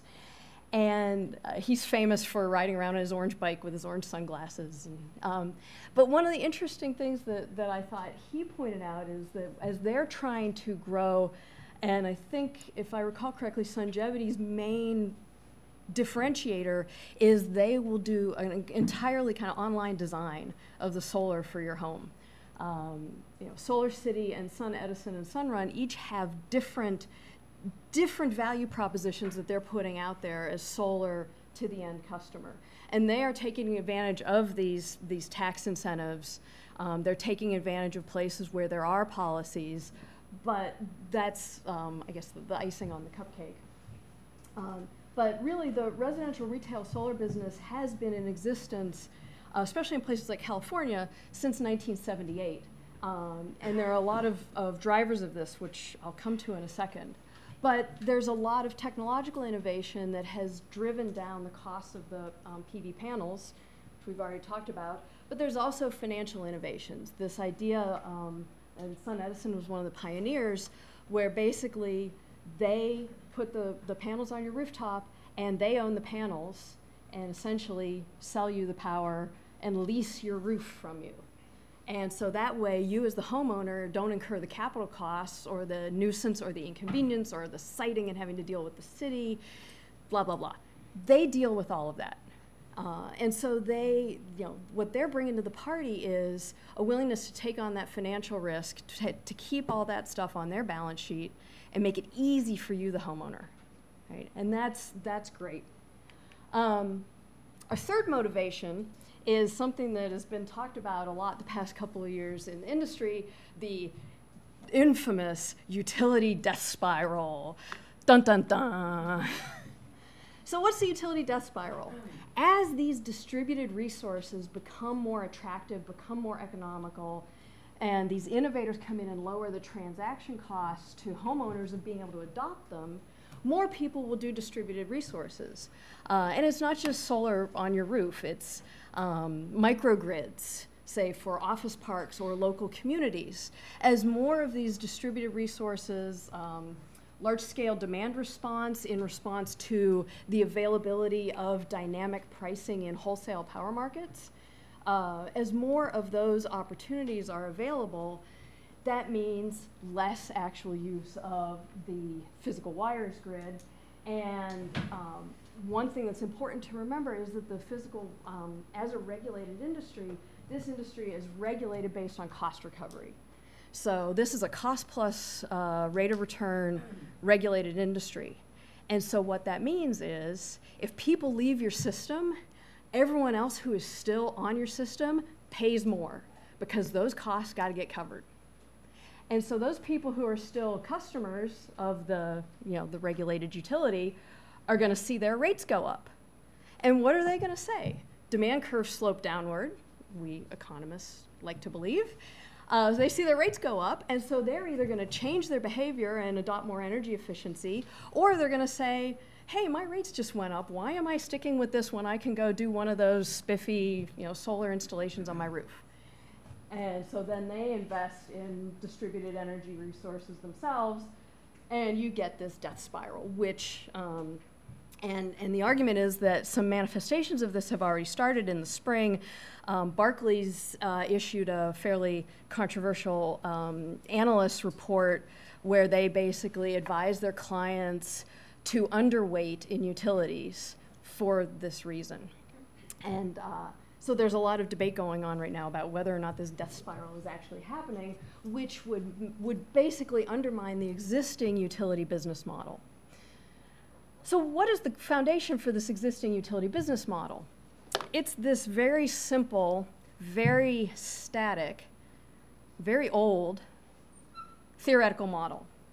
And those of you who are econ students recognize this as being about natural monopoly, right? So you build one of those massive coal-fired power plants, and that reduces your cost per unit of output that you sell, and so that's where your, your long-run average cost keeps declining, as opposed to having the small, you know, the smaller generators that are going to have those higher average costs. If you have all of those in one generator, boom, cost falls. Problem is, because there are so many fixed costs, because it's a capital intensive industry, if you have competition, competition competes price down to marginal cost. Mar that price is going to be below average cost. You're not going to be able to pay your debt, your, your, your creditors. You're not going to be able to pay for your debt. Um, you're going to exit the industry. Um, and in, in the historical narrative I like to tell, in Chicago, that means that Sam Insull buys up your assets at fire sale prices and consolidates into a large monopoly position. And so this, this natural monopoly model is the theoretical foundation on which regulatory theory and regulatory practice are based and upon which our existing regulatory institutions have been built, which is the rate case, you know, the utility goes to the Public Utility Commission, files a rate case, says, here are our assets. that we're going to use to deliver reliable power. Um, here's our reasonable rate of return on top of that. So this is the amount of revenue that we're asking to get. We're going to chunk that up into prices to different types of consumers. Boom. Um, and this is the model on which that's built. There are a lot of important critiques of this model. And these are critiques on which I tend to focus because I think they're very persuasive critiques. The first one is um, what I would call our creative destruction critique uh, from, from our entrepreneurial economist Joseph Schumpeter, that um, the, the way that we do regulation in theory, its practice is very static, and that regulation means that changes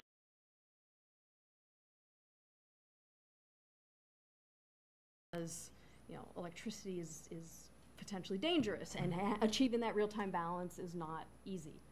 But um, but that said, given you know what Gene suggested, there's a lot of room to uh, there's a lot of mismatch between the kind of stat that, that regulation is based on and the kind of dynamic environment that we actually inhabit and create every single day. Right? There's a mismatch there. Uh, and so, you know, Schumpeter would argue it is not through driving price down to marginal cost. That's not the right theory of competition. The right theory of competition is that innovators and entrepreneurs compete by offering differentiated products and differentiated value propositions. And um, the, it's through experimentation and through learning and through trial and error that uh, is really the correct theory of competition and that we should build our regulatory institutions on that theory instead.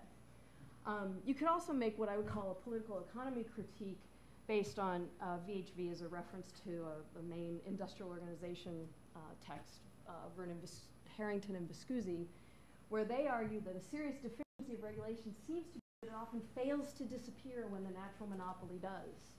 You know, and and you know, one of the reasons why you know Gene's organization exists is because over the course of the 1980s, smaller scale generation became economical, and so wholesale power markets became competitive. And that is the first disintegration of the natural monopoly. But we still have a lot of places, including Wisconsin, where the full vertically integrated firm is still regulated as a natural monopoly. The regulation has failed to disappear, although the natural monopoly has disappeared. Uh, I would also argue at the other end, at the retail, that retail is not uh, is also competitive, although um, regulatory institutions in states like Wisconsin prevent it from being so. Um, but more importantly, and this is where I think my, uh, my co-author and I focus, is that one of the thing, one of the biggest criticisms that we would make about regulatory institutions in this industry is the, is the epistemic critique right? That they have a flawed epistemology, um, which I, I, will, I will hook that onto the uh, idea in Hayek's 1945 paper, The Use of Knowledge in Society, the knowledge problem, right? The idea that market processes aggregate diffuse private knowledge and that what really happens when we have competitive processes, market processes, is that people discover what their preferences are in the process of engaging in exchange. And when regulation claims to stand in for that market process, it's actually missing a lot of that diffuse, private, and often tacit, right? It's knowledge we don't even know we are exercising. Um, and that regulation cannot replicate that information. And it's very important to remember that prices are signals wrapped in incentives, and that when, um, when we don't have institutional frameworks that enable the communication of that knowledge through prices, we are less likely to actually make good resource allocation and investment and innovation decisions. So that's basically the epistemic critique. Um, also, and, and again, my uh, previous speakers all alluded to this, um, regulation in this industry is a heck of a lot more complicated than it was back in 1907 when the state of Wisconsin founded the first Public Utility Commission, and which was grounded in this static, this static allocative efficiency idea of economic efficiency, which doesn't talk about the fact that the, uh, the external costs created by burning fossil fuels aren't included in that concept of efficiency, And so now when we think about the, the broader context of environmental quality is embedded in that, the policy framework and the policy objectives are more complicated. So in essence, we have a very complex, this is a very complex space, right? The economy is a complex adaptive system, but the theoretical framework on which our regulatory institutions are built and on which our regulatory practice happens are static and not taking into account the dimensions of the complexity uh, of, of, our, of our system. So, my, so the question that we're trying to grapple with, and that, that I invite you to help us grapple with, is what are the regulatory institutions that are compatible with this complexity and with these evolving policy objectives of economic and environmental quality? And, um, and clearly we're, we're focusing here on the idea of you know, clean technology and innovation in the electricity space. And our hypothesis and, and the, the, the, theoretical framework we're working from is, is going to, we're going to explore the different kind of um, policies at the state level, so different state level policies, and ask to what extent do they enable experimentation.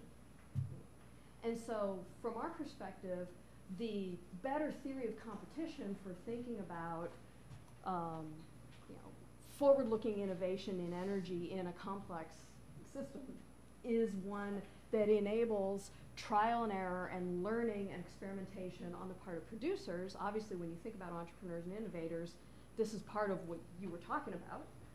But consumers also experiment, right? You go into the Apple store and you play around with all the different cool things, right? And you figure out, oh, well, maybe I'll get this one. And then you get it and you kind of keep it for a while and then you, maybe you love it, maybe it's okay, and then you go and you go to the other store and try the, you know, the Google Nexus tablet instead, right? One of the things that we are increasingly doing as consumers in the digital age is we are trial and error experimenters. We are learning through trial and error. And um, we can do that in the energy space as well. And, um, and we haven't done so for the past century when electricity has been sold as a commodity rather than as a service. And so I'm going to make three arguments for experimentation, and then I will, I will go to my punchline. Um, and and I, I want to make sure to say this for a particular reason. Um, why are we focusing on experimentation? The first is the arguments of this guy Schumpeter, right? Creative destruction, right? The disruptive entrepreneur.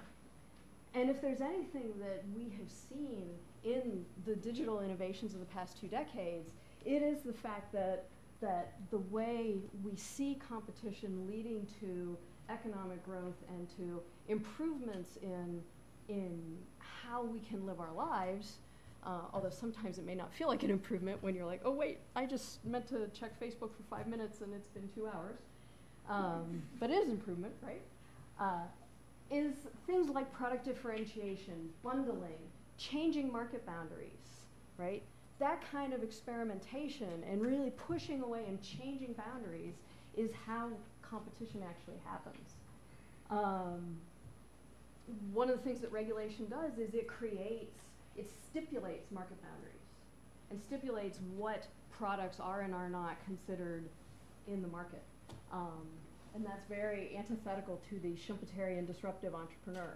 Um, I mean, if you think about the, the convergence we've seen in technologies, you know, what, what we now call a phone, um, well, we, is not at all what, like what we used to call a phone, and what we now call a phone is actually a lot like what we used to call a cray, uh, cray, you know, ginormous computer. so, you know, this breaking down of market boundaries and market definitions is an important thing and gets overlooked a lot. Um, but at the same time, there's a um, experimentation allows for entrepreneurs to come in and get ahead of the market, right? So what John was talking about, getting ahead of the market, has a lot to do with the um, Austrian economist Israel Kirzner and what he calls the equilibrating entrepreneur, who can kind of get ahead, not necessarily disrupt, but see where the market's going and get there first and provide you with a new way of thinking about things that you had not conceived of before and profit by it. And then finally, obviously, the epistemic context is where we're going to focus.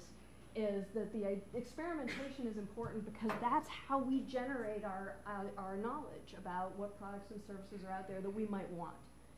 And, and that's really important for coordination across individuals and across the economic and environmental objectives that are now joined together so deeply in this industry. The reason I wanted to make sure to show this slide was uh, Warren has seen this slide before because I was fortunate enough to be invited to be a speaker in Upton Forum three years ago, and that was where I really started to formulate this experimentation theoretical framework. And so I'm, you know, the, the Upton Forum is, is beneficial not just to the Beloit community and to the, the Upton Scholar, but to the speakers as well, because I got a lot of new ideas from being here that I've been able to carry forward into my research. So I want to uh, thank you for that. Um, and so what we're going to do is basically work on this experimentation idea and start comparing across states um, to look at, at things like, you know, this is, is for example, California's um, small scale, less than, than uh, 10 kilowatt solar installations. And, you know, what's driving that? And Arizona's in there, New Jersey's in there. Um, there's a lot of interesting and important stuff going on there. But um, the punchline that I would say is our the conclusion that we are drawing at this point, um, and again I'm going to invoke Hayek in this, is that when we think about regulatory institutions and the role that regulation can play in enabling innovation that can lead to a cleaner tech future, that the important role of the regulator should be as a gardener and not an engineer, because um, our ability to actually achieve what we imagine we can design is less than we think it is. And so instead that we think um, focusing on cultivating an environment that is rich for others to follow their creativity in enabling new value propositions to come to market, that that's going to be most likely to lead us to a clean tech future.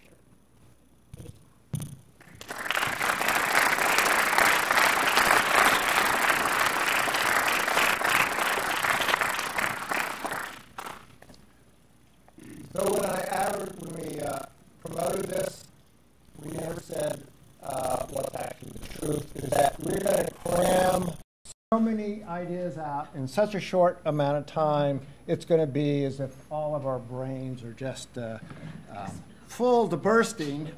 Or uh, the, another metaphor is, wow, we've had such a great meal.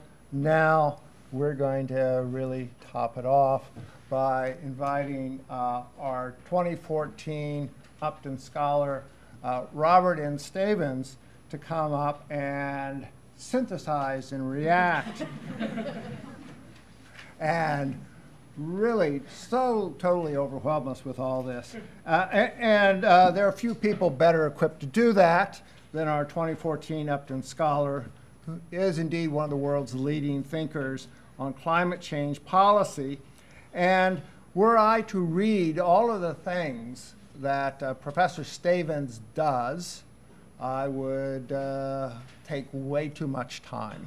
But let me say that he is both uh, an educator, a theorist, and a practitioner who's deeply involved in the work of the IPCC that just released its fifth assessment report. And he's also involved in the uh, climate negotiations with the United Nations. So uh, we'll give the last word before questions to Professor Stavins.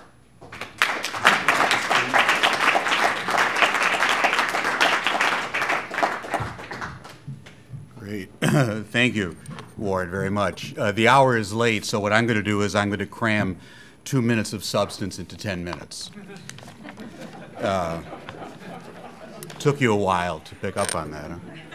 Okay, so um, we've heard four interesting uh, presentations. I've taken notes uh, from four distinguished and knowledgeable uh, panelists.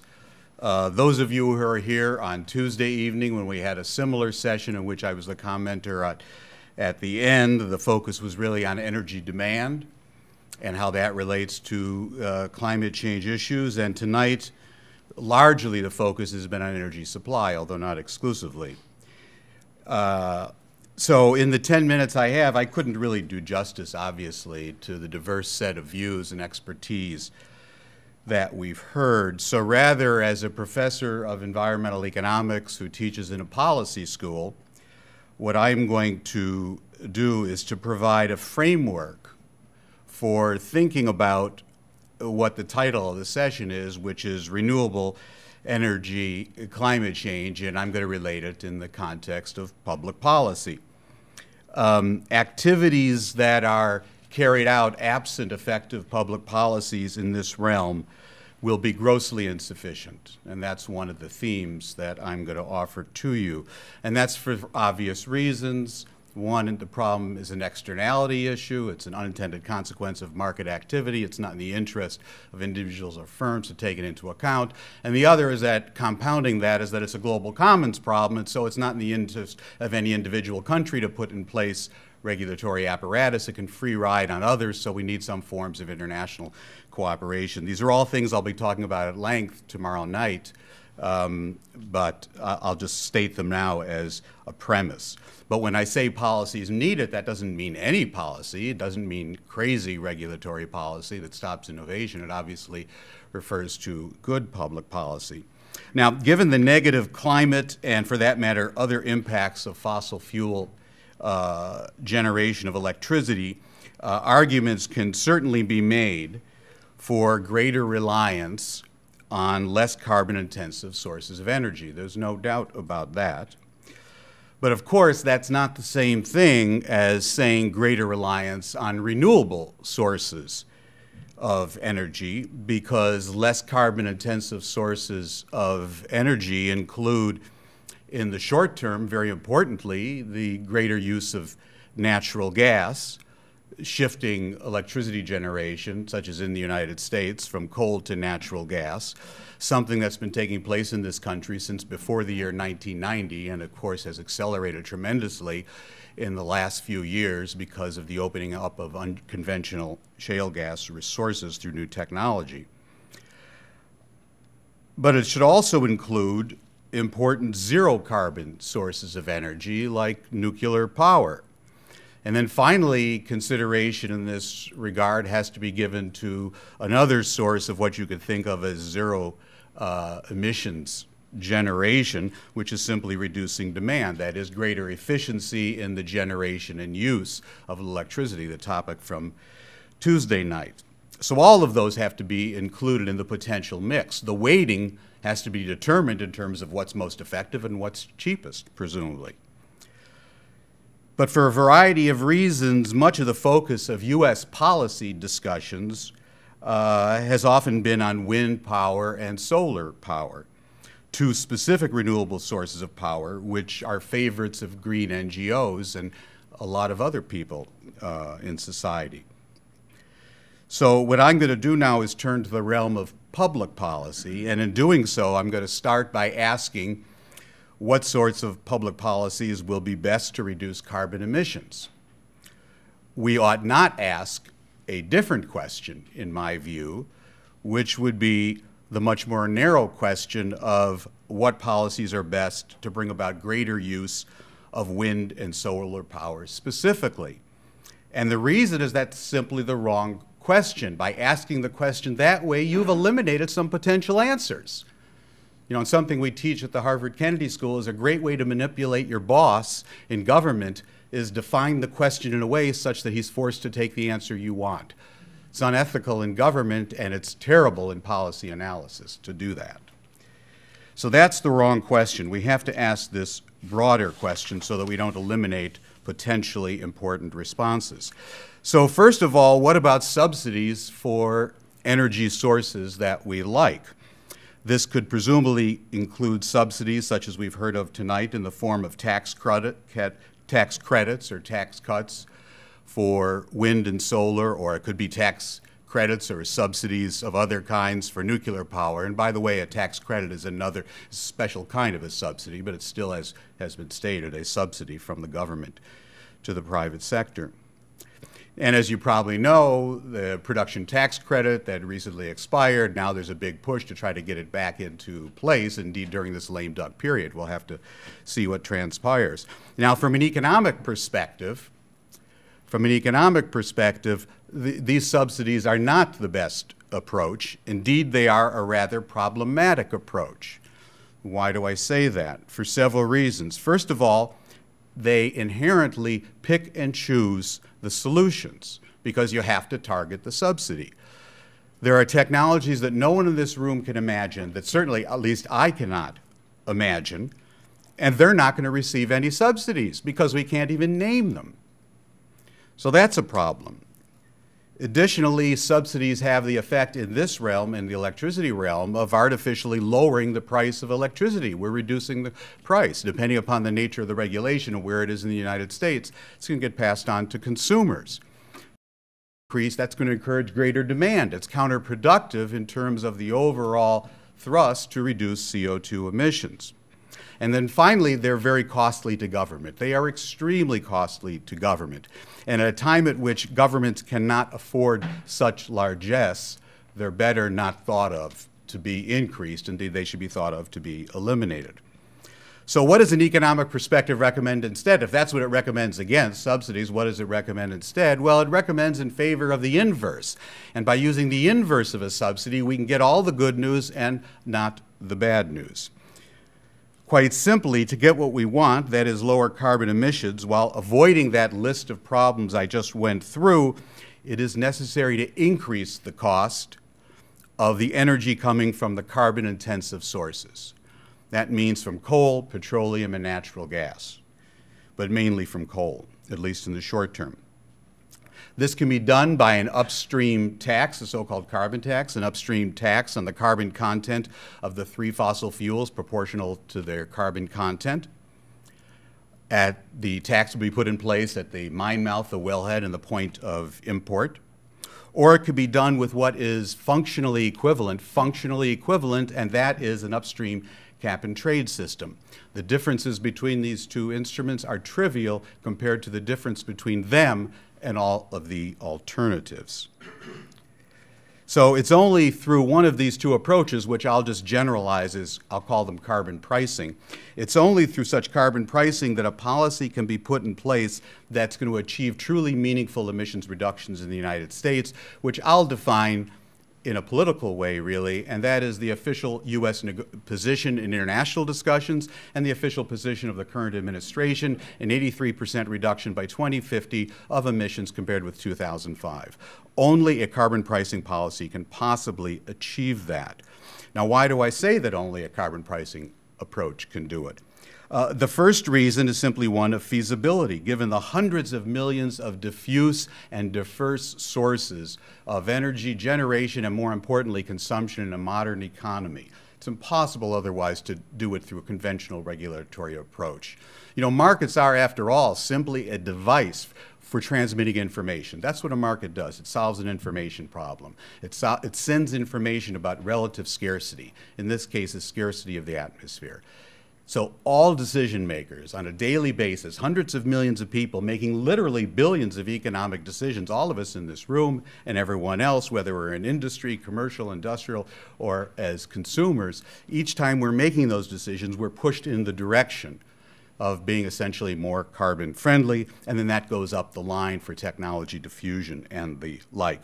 So that's the first reason. The second reason is that that approach is cost effective whereas other approaches will not be. And I won't take time to try to offer the proof or explanation for that, but that's a, a, a, fact of the nature of our economy, is that these approaches can do the job at minimum cost, whereas other approaches tend to be very costly, sometimes by an order of magnitude in our experience in the United States with other environmental problems.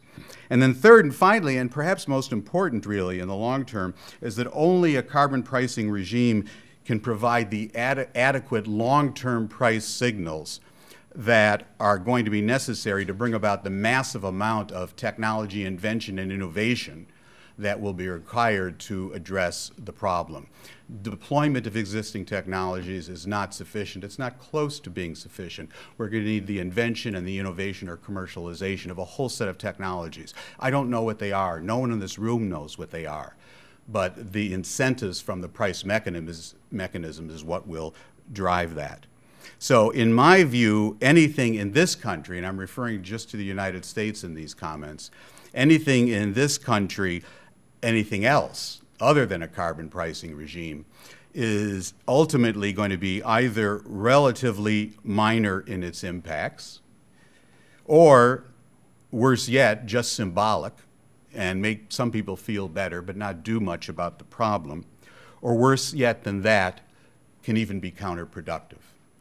So it's for all of those reasons that my perspective, at least, on the discussion tonight is that in the long term, our focus, the framework, has to be on getting the prices right, and that means sensible pricing of carbon. And that's the end of tonight's sermon.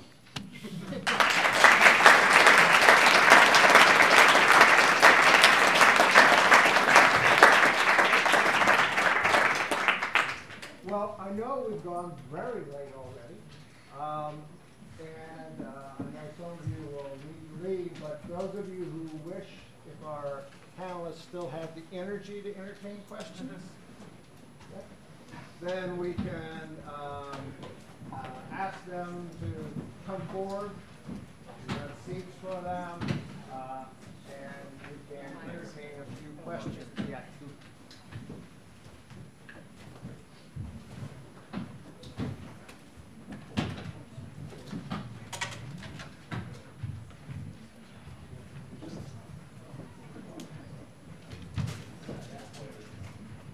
You don't get a table? No, that's okay. You don't get a table?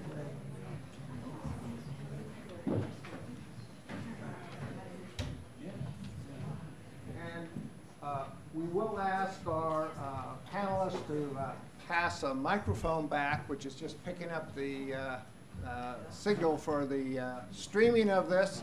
And then when you have a question, I'll bring the microphone to you as well. So um, the hardcore are here, ready to ask questions.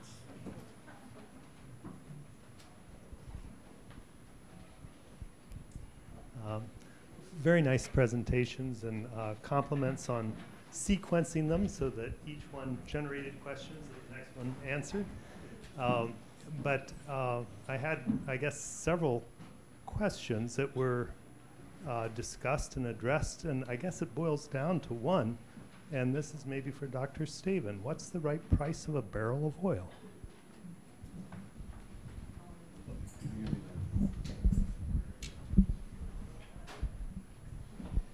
So it, it depends on what you mean by the right price. If what you mean is the price that would be best socially, then the right, is that what you mean?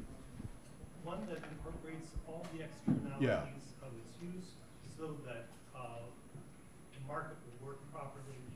Right, so, um, given that, then there are two factors that we'd want to take into a price. So we'd say, what's the market price that the market is determining? What part of that market price is due to the fact that we have cartels and imperfect competition? We'd want to adjust for that for social optimality. And then we want to adjust for those, uh, the externalities, which some of them are climate change, but in the case of petroleum, a lot of them are not climate change. There are other very, very serious ones. It's a much different situation because we're talking largely about liquid fuels for motor vehicles, in which case there are congestion externalities, there are externalities associated with the fact of the imperfections of the insurance market, there, and then of course there are all the externalities that are associated with conventional air pollutants from motor vehicles. And if you put all that together, you know, what is the optimal tax on, for instance, on a gal gallon of gasoline? I mean, I don't know. You know, the general thinking from economics is that the, the British tax is too high uh, compared to the socially optimal amount. This is just from the economic literature. And that the US tax is drastically too low so that instead something on the order, maybe it's $2 a gallon, uh, might be more appropriate. But this is something that would be increasing over time. For Professor Stavins, Uh, why is the United States using the, uh, for carbon pricing, the uh, 2005 date, and is Europe using the 1990 date? So that's a, um, an interesting question, um, because I'm going to try to do this briefly. Uh, so it turns out that the, so what the question was, in case you didn't hear it, why is it that Europe, whenever it makes its announcements or statements or commitments in the international negotiations for reductions of emissions, it always does it relative to the year 1990, and the United States has insisted on doing it relative to the year 2005. So that's the question. And uh, the, the reason for 1990, where that year came from in the first place, is that was what was agreed to in the Kyoto Protocol, is that would be the base year. But let's think now about how that year is for Europe and how it is for the United States, that base year. So several things happened after 1990. One of the things that happened was a, a period of unparalleled economic growth in the United States. Some people would call them the Clinton years. But that's the, that period of time from 1990 to about 1998. We have 35% increase in gross domestic product, therefore an increase in energy, not quite as much because our economy is becoming more energy efficient over time, and therefore an increase in CO2 emissions, although again, not as much because we've been decarbonizing but a very large increase. In Europe did not that have that economic growth. Japan was in recession. Canada did not even follow the United States. The US was really alone in that time. So right away, that 1990 baseline is very difficult for the US compared to Europe, but that's not the end of the story. What else happened post 1990? Well, the fall of the wall, the collapse of the former Soviet Union, and therefore German reunification. When German reunification took place, it meant that all that old Rust Belt industry and electricity generation power stations in the former East Germany were closed down. As you may recall, there was massive unemployment and there was migration to formerly West Germany. But that's all in the baseline, all that filthy uh, CO2 emitting uh, technology. And the result is for Germany that when you look at the numbers, that it actually have what people refer to as hot air. That is, its business as usual emissions would actually be less than what its target was. It hasn't quite worked out that way. But anyway, it's very modest. Likewise in the United Kingdom, so the two most important economies in, in, in Europe. Uh, in the United Kingdom, for reasons having nothing to do with climate change, much earlier, a conservative government under Margaret Thatcher privatized British coal.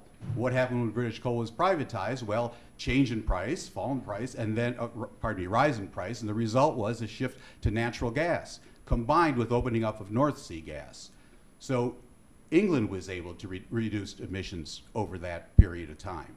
And so, in fact, if you look at the EU as a whole, then they were in a very fortunate position because of that baseline. Now, it's not true of all the countries. Countries of Southern Europe and Eastern Europe, it's very, very difficult for. But for the largest economies in Europe and the Scandinavian countries, because of policy actions, it was a much easier target.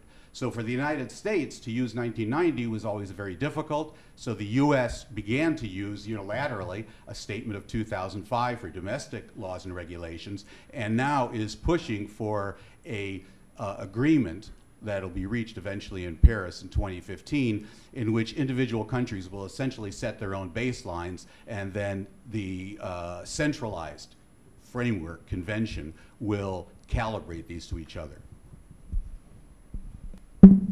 Thanks. Uh, Professor Stavins gave a, a, a, stirring sermon about the importance of carbon pricing. So I'm just curious from all the panelists, uh, quickly to share your perspectives on carbon pricing and the importance, relative importance of carbon pricing to the MISO, to your business model, to the regulatory work that you're studying, and to this proposal that you came out with for Beloit College. Uh, great. Uh, no, I, I would agree with Professor Stavins that a much more efficient approach to handling the situation would be to price into electricity, for my example, um, carbon pricing, but then also, as noted on that first slide, the other costs of electricity, um, other externalities. Uh, as I mentioned, there's, especially for coal-fired power, there's other contaminants of concerns, mercury, sulfur dioxide, nitrous oxides, and others, uh, and also other concerns also for natural gas, and frankly also for biogas, because biogas is basically a, a lesser form of natural gas in my mind. Um, so if that occurred, as is indicated in my slide, my slide is not necessarily perfect in terms of the pricing, as uh, Dr. Stavins noted. There's there's different ways of looking, and different people have different prices. But if the price of electricity for Beloit College was 14 cents versus 6.8 cents, I think actually you'd get to a very similar result in terms of how the project would work But instead of the project working because of tax incentives, it would work because of the proper price of, um, of energy. And, um, and I agree that it would be much better to not single out certain technologies like solar and others to get that, that benefit. But frankly, in- my world, which is the world working with private clients and public clients who have to work with existing systems, you have to work with what's available. What's available and what's most attractive, I think, for a, a situation like this one, where you might put solar on a campus, is to think through how to take advantage of the existing incentives. Um, yeah, in the the the policy environment around the the renewables in particular is so complex, right, at the state level. And I think Gene showed the the little table with all the check marks of the carve outs and the this and the that and the tax. It, it's just um, I'm coming to refer to it constantly as a Rube Goldberg machine. And everyone I talk to is like, yeah, it's totally a Rube Goldberg machine. And that if we could do, you know, extreme makeover regulatory edition and just, you know, wipe that stuff away and do uh, a carbon tax and technology agnostic, low entry barrier uh, regulatory approaches with retail competition, that would be my preferred kind of second best. You know, I, I'm uh, the the reason I'm up here hesitating is um, I there are a couple of things that that I would probably disagree with Professor Stavins on, or at least push back on a little bit. One is. And I think the three of us in particular use the same model and the same graphs when we teach our students that the um, emissions permit market and the tax, if you can design them correctly, they are theoretically equivalent and they get you to the same place. Um, but I think once you add in the political economy reality and start to think about the public choice analysis and the rent seeking and the lobbying and the money that's on the table in per- permit market design versus tax design, then the question gets a lot more complicated. And so I would, I, I think the equivalence breaks down once you think about the political economy. Um, and I'm also not inclined to think of the problem as being one of getting the prices right because we don't know what the right price is. You know, so what's the right price of barrel of oil? No idea. And it's and, and that's what I mean by the epistemology, right? The, the epistemology that gets ignored and assumed away in a lot of economics is, you know, thinking that these things are knowable when they really aren't. And so I tend to think of it more as what's the regulatory framework that can enable people to coordinate and achieve environmental and economic policy objectives. And the price mechanism is what will enable that coordination, although we don't know what P star is.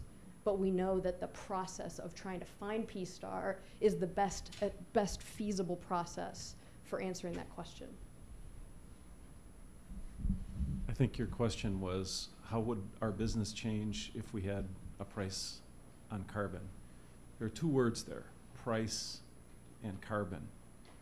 Uh, and uh, so first it would distill this down to something simple, which is carbon, as opposed to trying to pick technology winners or solutions. That would help. Uh, price would change the level point for my financial natural capital balance point in the renewable energy space.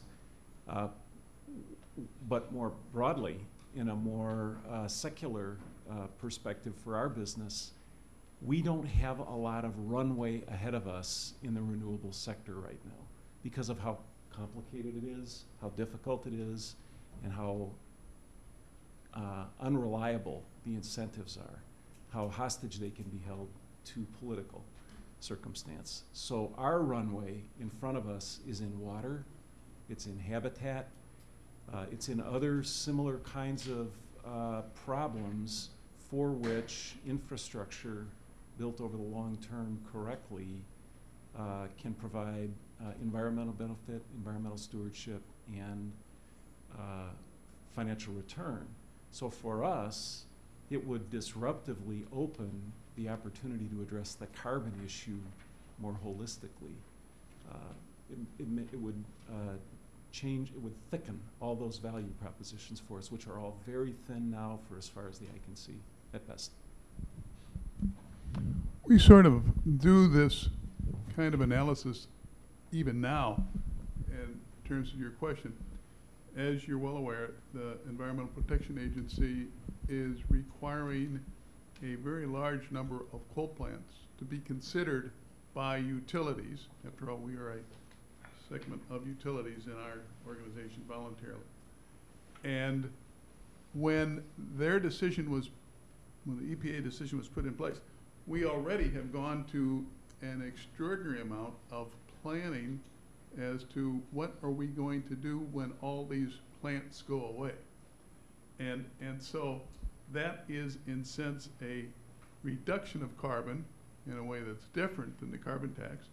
But my answer is by way of saying we are in a position when a policymaker makes a decision, we then have to find the best way to deal with it. And that's pretty much how we would deal with perhaps the tenets of your question. But I can tell you on the basis of what's going on right now with the elimination of old, heavily polluting coal plants, we are looking to how we're going to make our system work with less energy available or less generation available and maybe better use of wind from someplace or another, or maybe some new, new power plants of uh, maybe combined cycle or something like that with natural gas. But that's, that's how we would react to it. Because we're doing it right now. That's, that, that doesn't, that's not an unusual happenstance. Somebody will have an idea, somebody will have a policy that will impact our members, and then we will be in a position where we have to deal with it. But providing reliability at all times. It's very late, and so I would like to take one more question, and that question should be brilliant.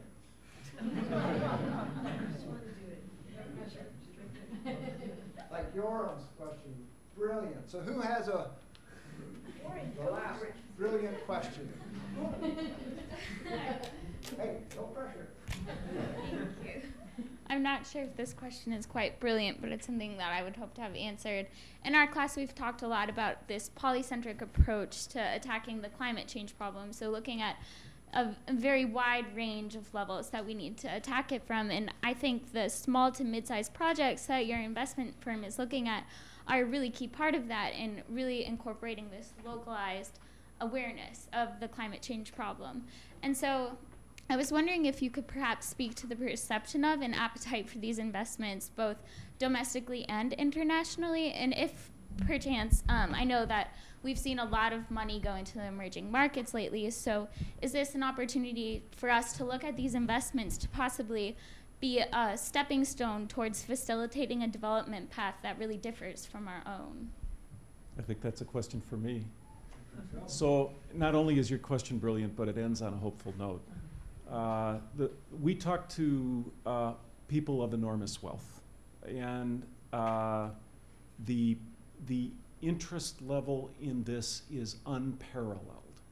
Uh, we sit across the table from people in all different uh, stations in society, um, all of whom understand the dilemma that we face and are frustrated by our inability to solve it with the sort of elegance that Professor Stavins has suggested, but they want to do something, and they want to deploy their capital in a way that matters. So we have plenty of opportunity, uh, which gives me which gives me great hope. Um, and I'm grateful that you picked up on the small to mid-size because remember, Microsoft wasn't always this big. Apple wasn't always this big. Uh, when we try to solve these big, in my opinion, when we try to solve big systemic problems at the system level, incumbents generally can't do that. You have to find someone else, innovators, experimenters, working with incumbents to strike the balance. So I will conclude by, uh, by telling you be hopeful. The people that we're talking to uh, see this. Before you burst into applause at that point, which certainly deserves applause at that point, I would like to thank two groups. I would like to thank our five panelists for two and two hours and 20 minutes of brilliance. And when you clap, I also want to thank the audience for two hours and 20 minutes of real attention. So thank you all very much.